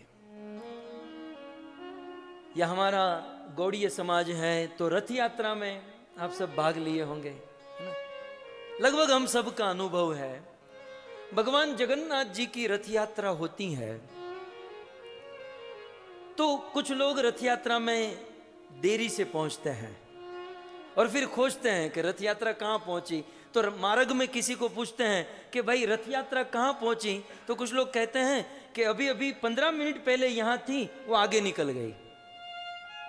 तो इस आदमी के लिए रथ यात्रा भूतकाल हो गई। भूतकाल हो गई ना भाई, यहाँ थी, वो चली गई भूतकाल।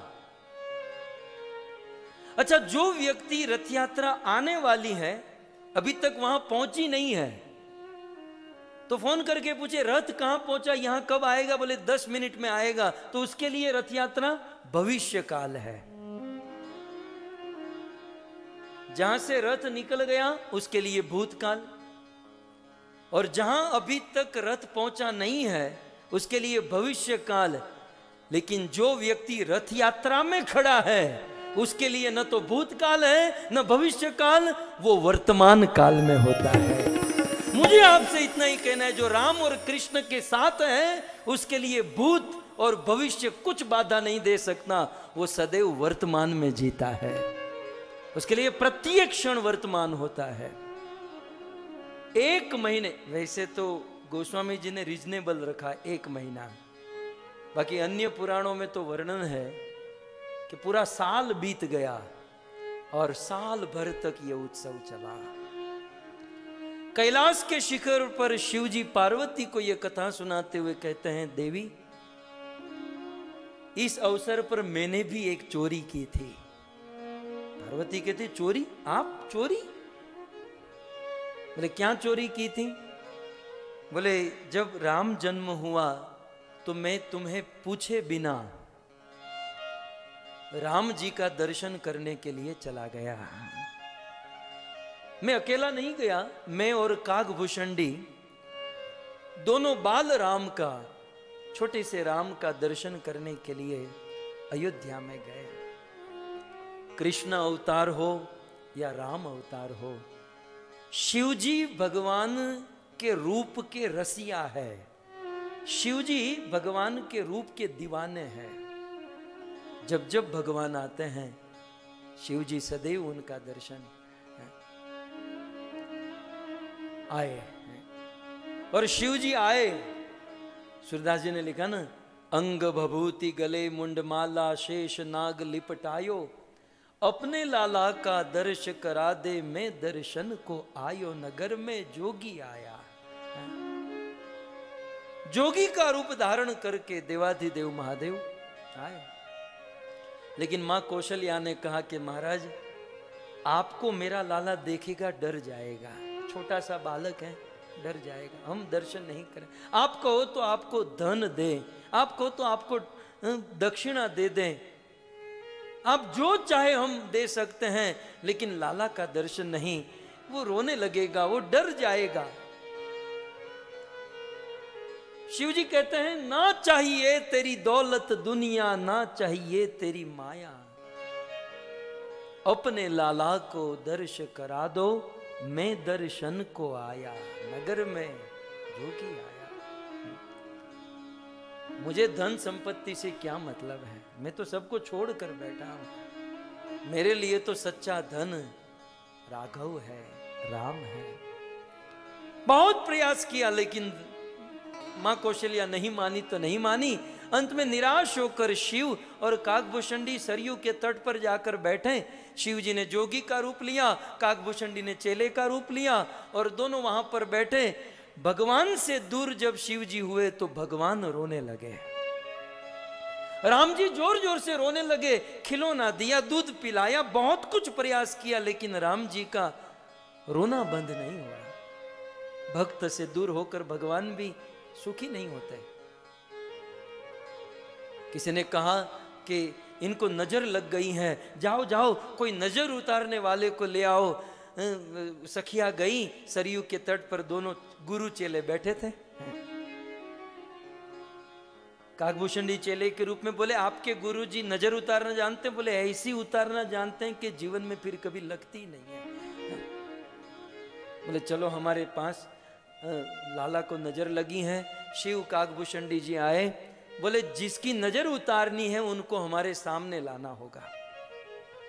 बोले, बिना सामने लाए नहीं चलेगा। बोले, नहीं, लाना होगा। अरे, रो रहा है, लेकर आओ, सखिया लेकर आई। और जैसे ही छोटे से राम ने पिछले तीन घंटे से लगातार रो रहे थे, अपने भक्त शिव जी का दर्शन किया, रोना बंद और खिलखिलाते हुए हंसने लगे। प्रभु मंद मंद मुस्कुराने लगे। और तब शिव जी ने माँ कौशल्या को कहा कि, माँ, तुम चाहती हो कि तुम्हारा लाला जीवन भर ऐसे ही प्रसन्न रहे? कौन माँ नहीं चाहेगी? बोले हाँ हम चाहती हैं। तो बोले, मेरी जटा में एक जड़ी बूटी है। यदि तुम्हारे लाला के चरण मेरी जटा में स्पर्श हो जाएँगे तो जीवन भर प्रसन्न रहेगा, कभी रोएगा नहीं। तुरंत माँ कौशल्या ने राघव को उठाया, उनके चरण शिव जी के मस्तक पर जटा में स्पर्श कराए। शिव जी मन में सोचने लगे, जिस भगवान के चरणों से जल निकला और वह जल मेरे मस्तक पर आया, मैं गंगाधर बना और तीनों लोक में प्रसिद्ध हुआ। आज उसी भगवान के साक्षात चरण मेरे मस्तक पर आए। मैं धनियाति धन्य हो गया। शिव जी नाचने लगे। शैल शुंग सम विशाल जटा झूठ चंद्र बाल गंग तरंग बाल विमल राचे। लोचन त्रय लाल चंदन की कोर बाल कुमकुम सिंदूर गुलाल साजे। मुंडन की कंठमाल विकसित रल के प्रसाल, फटिक जाल, रुद्रमाल, नर कृपाल याचे। डम डम डम डम, रुबाज नाद, वेद, स्वर, सुसाज, शंकर महाराज आज तांडव नाचे। बोले महाराज आज तांडव नाचे।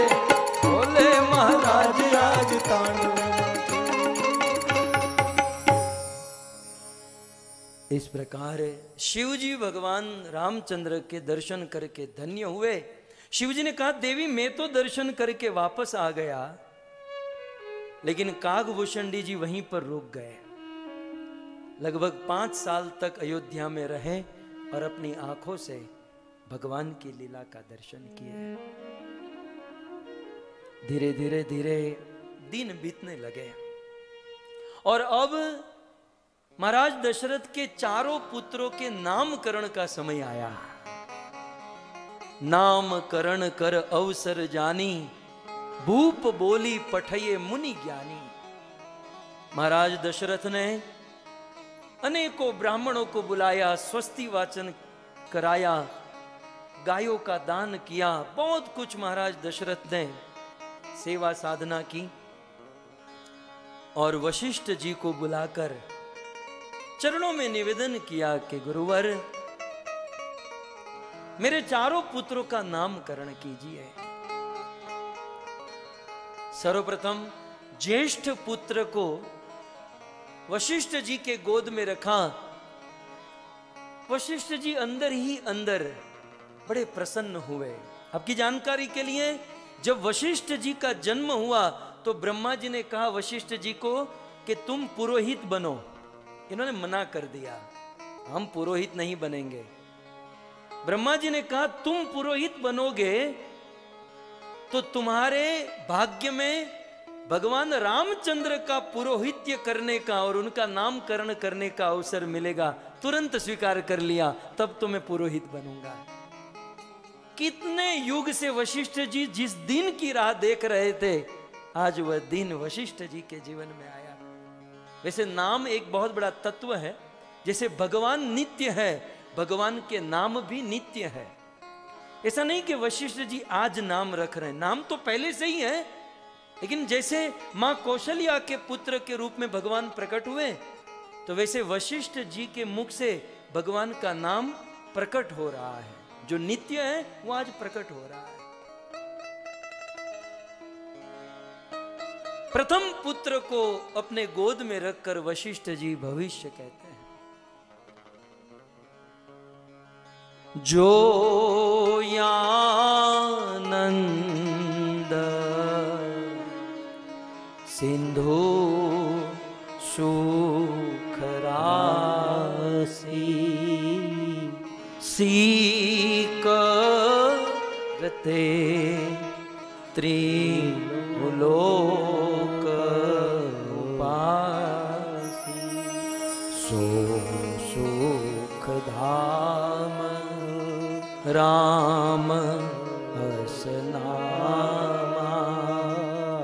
अखिल लोक दायक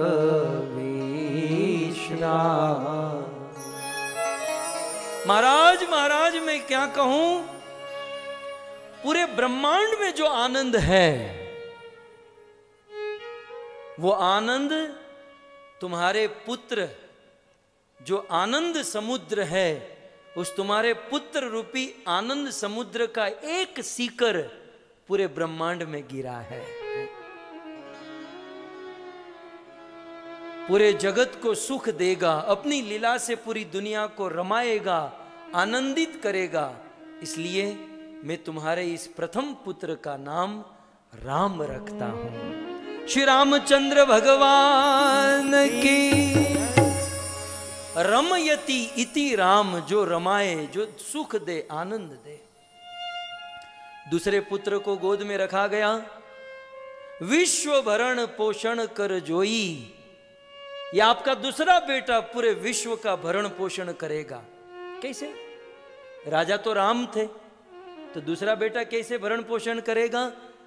बोले, स्थूल रूप से नहीं, विश्व की आत्मा का भरण पोषण करेगा। ये दूसरा बेटा ऐसी भक्ति करेगा, ऐसा संत, ऐसा साधु बनेगा कि संसार के भक्तों की भक्ति का, आत्मा का पोषण करेगा। इसलिए तुम्हारे दूसरे बेटे का नाम मैं भरत रखता हूँ। श्री भरत महाराज की। यह आपका तीसरा बालक जो है, उसका स्मरण करने मात्र से शत्रु का विनाश हो जाएगा। शत्रु बुद्धि का विनाश हो जाएगा। इसलिए तुम्हारे तीसरे पुत्र का नाम मैं शत्रुघ्न रखता हूँ। श्री शत्रुघ्न महाराज की ज़ोर से बोलिए। क्योंकि जिस ब्रज में आप बैठे हो ना, इस ब्रज के राजा शत्रुघ्न जी को बनाया गया था। जब भगवान रामचंद्र अयोध्या के राजा हुए, और उस समय मथुरा में इस ब्रज में जब आतंक छाने लगा तब भगवान ने शत्रुघ्न जी को यहाँ ब्रज में भेजा था। कई वर्षों तक शत्रुघ्न जी ब्रज का ध्यान रखे, ब्रज का राजत्व किया। और फिर अंत में सुमित्रा के छोटे बेटे को गोद में रखा गया। कहते हैं कि इस पुत्र में लाखों गुण है। और लाखों गुण होने के कारण तुम्हारे इस सबसे छोटे बेटे का नाम मैं लक्ष्मण रखता हूँ। श्री लक्ष्मण महाराज की इस प्रकार से चारों पुत्रों का नामकरण किया गया। भगवान रामचंद्र की बहुत सुंदर एक ऐश्वर्यमय लीला माँ कौशल्या भगवान के मंदिर में सुंदर रसोई घर में भोजन पकाई और भोजन और उस समय अपने छोटे से राम को रसोई घर में बिठाया और माँ ने भोजन बनाया। भोजन बनाकर मंदिर में वह भगवान को भोग धराने गई। छोटे से राम किचन में, रसोई घर में बैठे और कौशल्या मंदिर में गई, भगवान को भोग धराया। वापस आई, राम किचन में है, रसोई घर में है, और जब वो भोग लेने गई तो भगवान मंदिर में भी बैठे हैं। माँ कौशल्या ने सोचा, मैं तो रसोई घर में छोड़कर आई। दो पाँच बार यहाँ वहाँ होकर देखा तो दोनों और राम है। माँ कौशल्या का मन भ्रमित होने लगा। भगवान ने दिखाया कि आगे चलकर कुछ ऐसी लीलाएँ होने वाली हैं। आप उनसे चिंतित न हो, इसलिए भगवान ने छोटा सा ऐश्वर्य का दर्शन कराया। धीरे धीरे भगवान रामचंद्र थोड़े से बड़े हुए, लेकिन जब से राम का जन्म हुआ है, अयोध्या में साधु संतों का मेला लगने लगा है। जितने भी साधु संत आते, राम दर्शन करके जाते, एक दिन कुछ साधु आए, कहा, माँ, राम का दर्शन कराओ, आज कौशल्या रह नहीं पाई। और कौशल्या ने कहा कि, आखिर तुम लोग आज तक दिखाई नहीं दिए। और अचानक अयोध्या में संतों का मेला लगा। आखिर बात क्या है? वे साधु संत महात्मा गण कहते हैं कि, माँ माँ निराकार निराकार निराकार का जाप कर करके हम थक गए, गला सूख गया, मर गए। लेकिन आज वह ईश्वर आपके घर पर, है, बेटा बनकर आया है। माँ, हम तुम्हारे राघव को जब दीवार के सहारे चलते देखते ना, हमारे हृदय में कामना होती है कि हम अयोध्या के महल के एक पत्थर बन जाए और पत्थर बनकर इस दीवार में जड़ जाए ताकि छोटे से राघव हमारे सहारे चले और हमें लीला सुख प्रदान करें। साधु संत भी आज अयोध्या में राम दर्शन के लिए उमड़ पड़ते हैं। धीरे धीरे राम बड़े हुए, अब तो सखाओं के साथ खेलने लगे हैं। छोटी सी लीला का वर्णन गोस्वामी जी ने किया। एक दिन भगवान रामचंद्र अपने सखाओं के साथ खेल रहे थे और उसी समय महाराज दशरथ अपनी राजसभा को समाप्त करके घर पर आए और घर आकर कौशल्या को कहे कि देवी, मुझे बहुत भूख लगी है, मेरी थाली तैयार करो। कौशल्या ने कहा, ऐसे कैसे खा लोगे? पहले राम को खिलाएँगे, फिर खाएँगे। हम रोज पहले राम को खिलाते हैं आज मुझे बहुत भूख लगी है। पहले मुझे खिला दो। बोले, नहीं, जाओ पहले राम को लेकर आओ, फिर खाएँगे। अब देखिए, बहुत सुंदर रसमयी लीला है। अब महाराज दशरथ छोटे से राम सखाओं के साथ खेल रहे हैं, उनको बुलाने जा रहे हैं। शब्द के ऊपर गौर फरमाइएगा। शब्द की बड़ी यहाँ पर लीला है। भोजन करत बोल जब राजा। भोजन करत। बोल जब राजा। नहीं आवत तजी बाल समा। नहीं आवत तजी बाल समाजा। भोजन करत बोलत जब राजा। महाराज दशरथ दूर से बुलाए, राम, चलो भोजन करने, चलो घर पर। दशरथ जी ने बुलाया, लेकिन रामचंद्र बच्चों के साथ खेल रहे थे अपने पिता, अपने बाबा के पास जाने की बात तो दूर रही दूर रही। भगवान राम ने दशरथ जी की ओर देखा भी नहीं।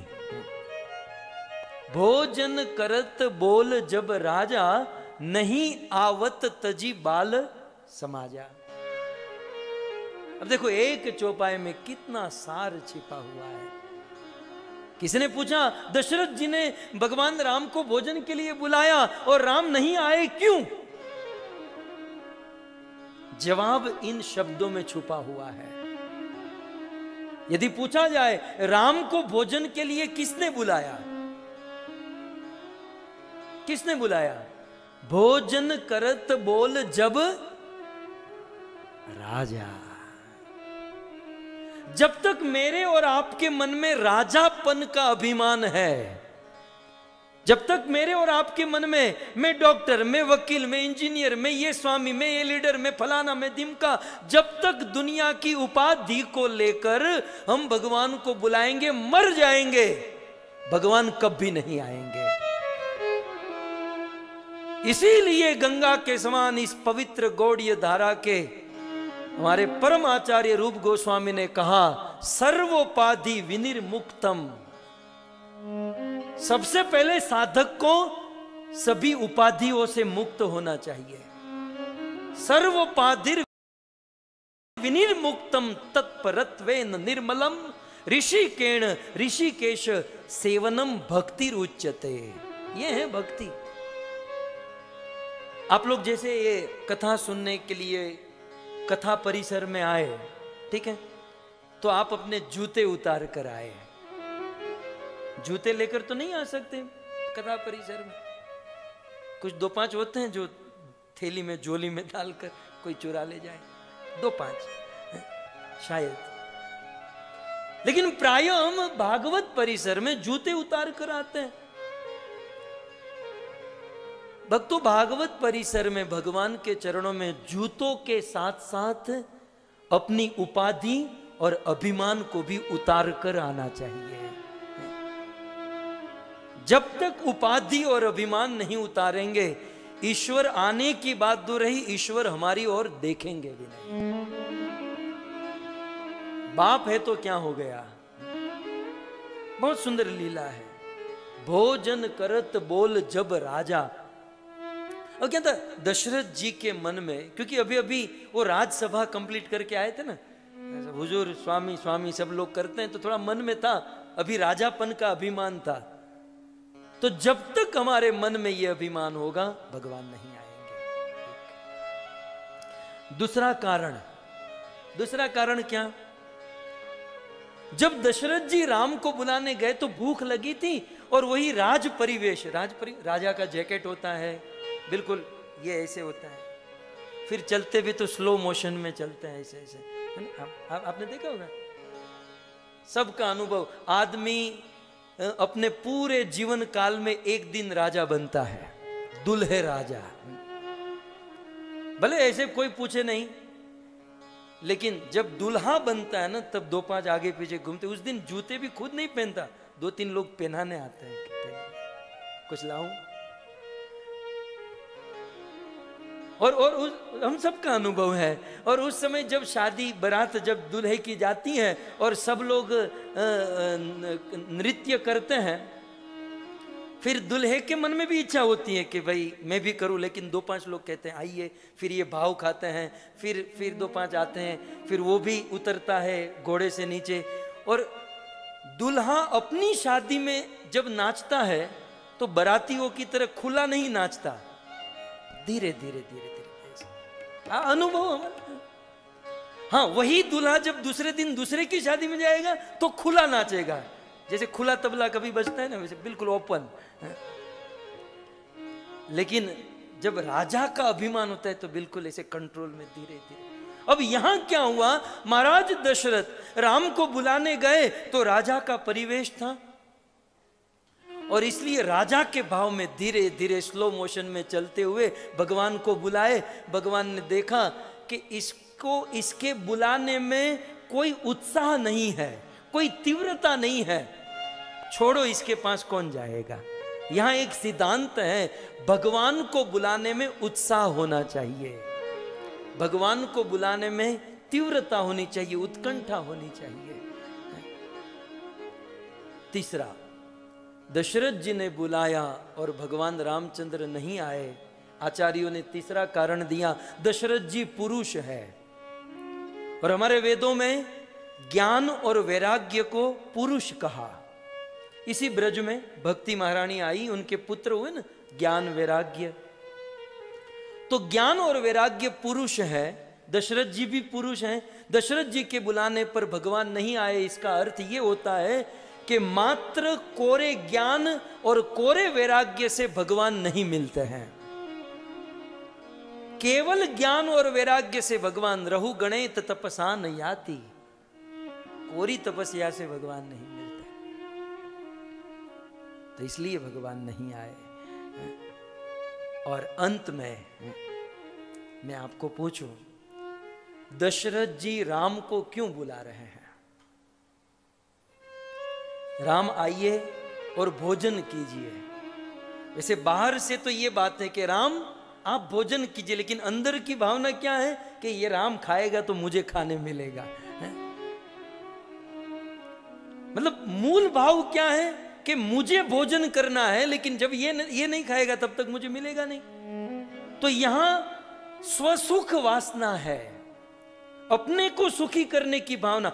बुला रहे हैं भगवान को लेकिन भावना क्या है अपने आप को सुखी करने की? क्या हमारे जीवन में भी कुछ ऐसा नहीं है? रात दिन भगवान का नाम लेते, कथा सुनते हैं, लेकिन इच्छा क्या होती? हम सुखी हो जाए। जब तक भक्ति करते हुए या ईश्वर को पुकारते हुए स्व सुख वासना होगी, भगवान हमारी सारी इच्छा पूर्ण करेंगे, लेकिन भगवान नहीं मिलेंगे। ईश्वर तो तब मिलेंगे जब सारी वासना कामना दूर करें और ईश्वर को सुखी करने के लिए, उनको प्रसन्न करने के लिए तत्सुख सुखित्व के भाव से जब हम सेवा और भक्ति करें, तब भगवान मिलेंगे। दशरथ जी वापस चले गए और कौशल्या को कहने लगे, वो नहीं आएगा, मुझे भोजन दे दो। कौशल्या ने कहा, ऐसे कैसे नहीं आएगा? मनो रोटी सब्ज़ी बना रही होगी। आटे वाले हाथ थे, बाल बिखरे हुए थे, कोई वस्त्र का, क्योंकि किचन में काम कर रही थी। आप रुकिए, मैं बुलाकर आती हूँ। अब कौशल्या जा रही है। गोस्वामी जी ने लिख दिया।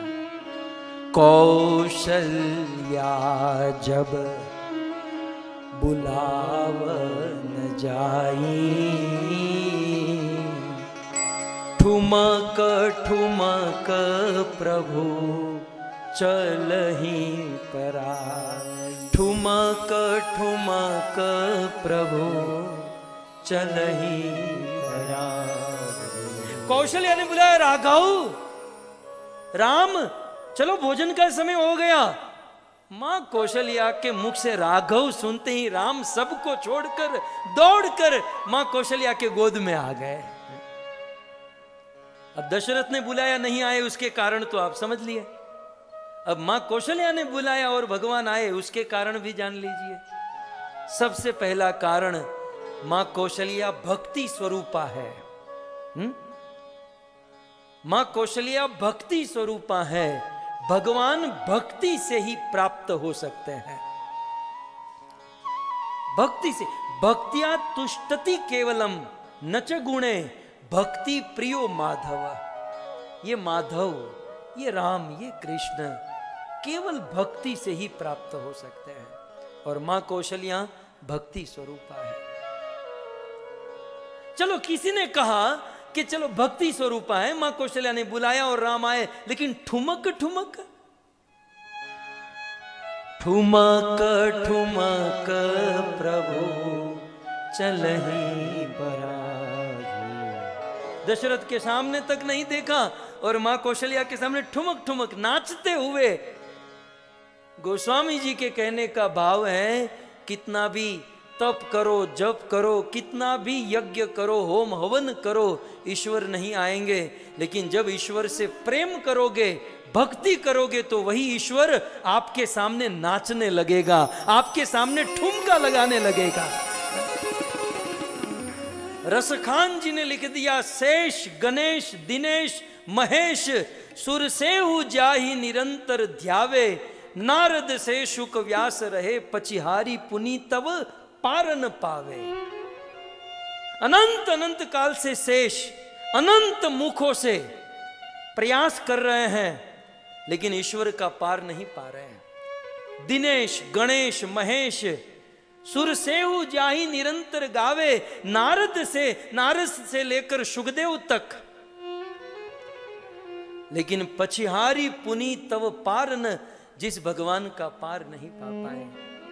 जा ही अनादि, अखंड, अभेद, जो अनादि हैं, जो अखंड हैं, जो अभेद हैं ध्यानियों के ध्यान में नहीं आते, तपस्वियों के, योगियों के हृदय तक नहीं आते। लेकिन ऐसे परम दुर्लभ भगवान, परम दुर्लभ भगवान, प्रेम करने वाली ब्रज की गोपियों के, छछिया भरी छाछ पे नाच नचावे।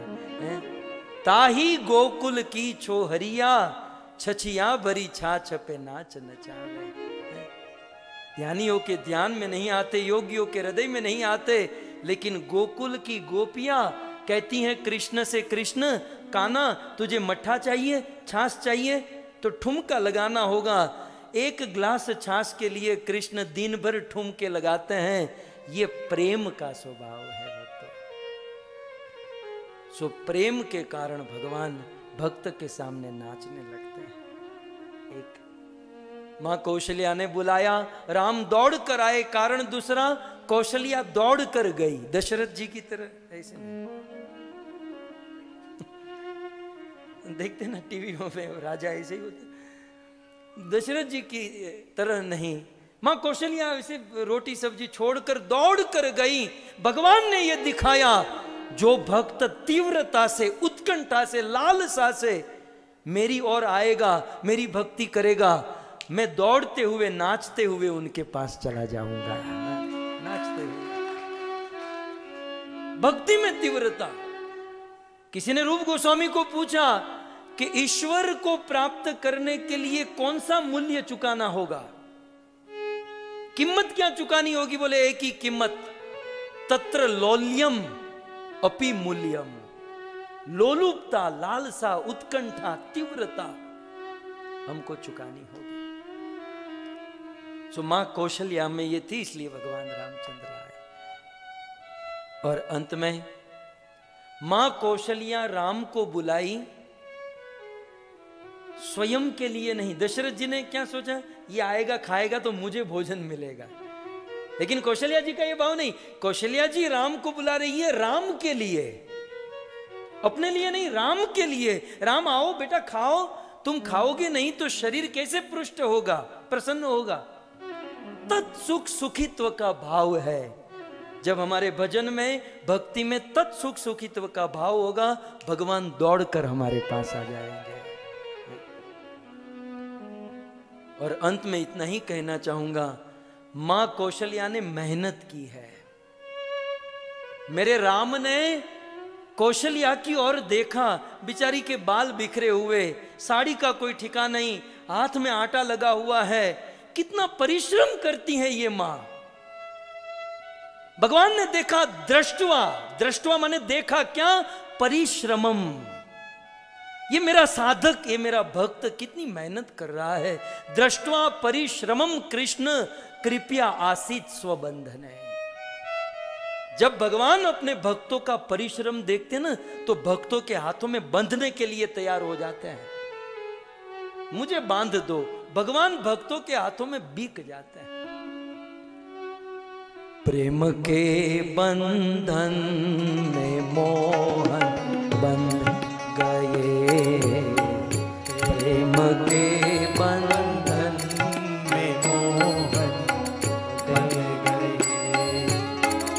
प्रेमियों ने जो बनाया बन गए। प्रेम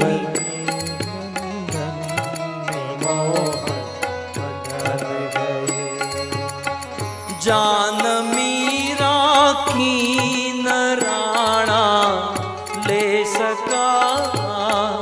जान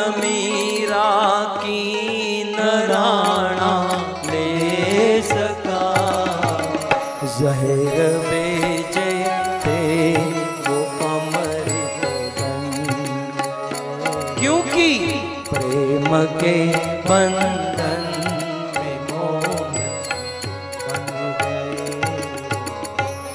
जो भगवान से प्रेम करता है, भगवान उन भक्तों के हाथों में बंधने के लिए तैयार। और भक्त के हाथ में बंध कर भगवान गर्व महसूस करते हैं। वाह वाह, मुझे बाँध दिया मेरे भक्त ने। बाँध दिया। बड़े प्रसन्न होते हैं। अखिल ब्रह्मांड नायक अपने एक इशारे से करोड़ों ब्रह्मांड को गिरा दे। वो अर्जुन का रथ क्यों चलाएगा? ढाई हज़ार की नौकरी करने वाले का काम क्यों करेगा? क्योंकि प्रेम है। वह दुर्योधन का नाई क्यों बनेगा? प्रेम है। प्रेम के कारण भगवान बिक जाते हैं। ये राम कथा, ये भागवत कथा वास्तव में ज्ञान यज्ञ नहीं, ये प्रेम यज्ञ है। और इन कथाओं में भाग लेकर कहीं ना कहीं भगवान के प्रति हमें प्रेम प्रकट करना है। आप सभी भक्त बड़े भाव से, धैर्य से इस कथा का श्रवण किए और अपने प्रेम को दिन भर दिन भगवान के प्रति बढ़ाए। आप सभी भक्तों का धन्यवाद। मैं विशेष धन्यवाद करना चाहूँगा हमारे गोविंद जी, मूल जी, घगड़ा परिवार का, जिनके सहयोग से, जिनके आयोजन से आज विश्व के समस्त देशों में आस्था चैनल के माध्यम से और मीडिया के माध्यम से लाखों करोड़ों लोग इस कथा का आस्वादन कर रहे हैं। आइए जय जयकार के साथ और आरती के साथ आज के सत्र को विराम करें। श्री रामचंद्र भगवान की श्री वृंदावन धाम की जगत गुरु श्री प्रभुपाद की निताई गौर प्रेमानंदे कौसल्याना कुंवर તમારી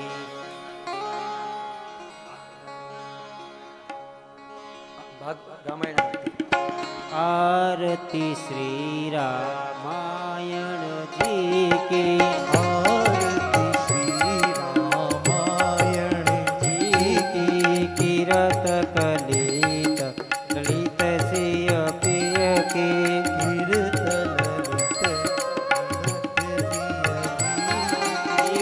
गावत ब्रह्मा, धिक मुनि नारद, वाल्मीकि विज्ञान विशारद, सुख सैनिकादिक शिष्य सारद करनि पवन सुत कीरति गावत वेद शास्त्र सब ग्रंथन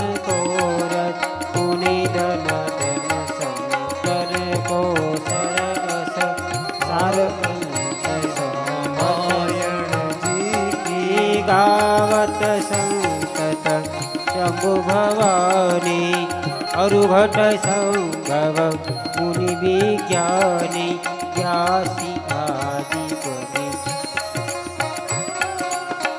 कागत संगे रामायण जी की बलि बलहर निरसय सपीति सुभग सिगा मुक्ति जुबती की निरोग मुरयमी तात मात सब। विधि तुलसी की, हरे कृष्ण हरे कृष्ण।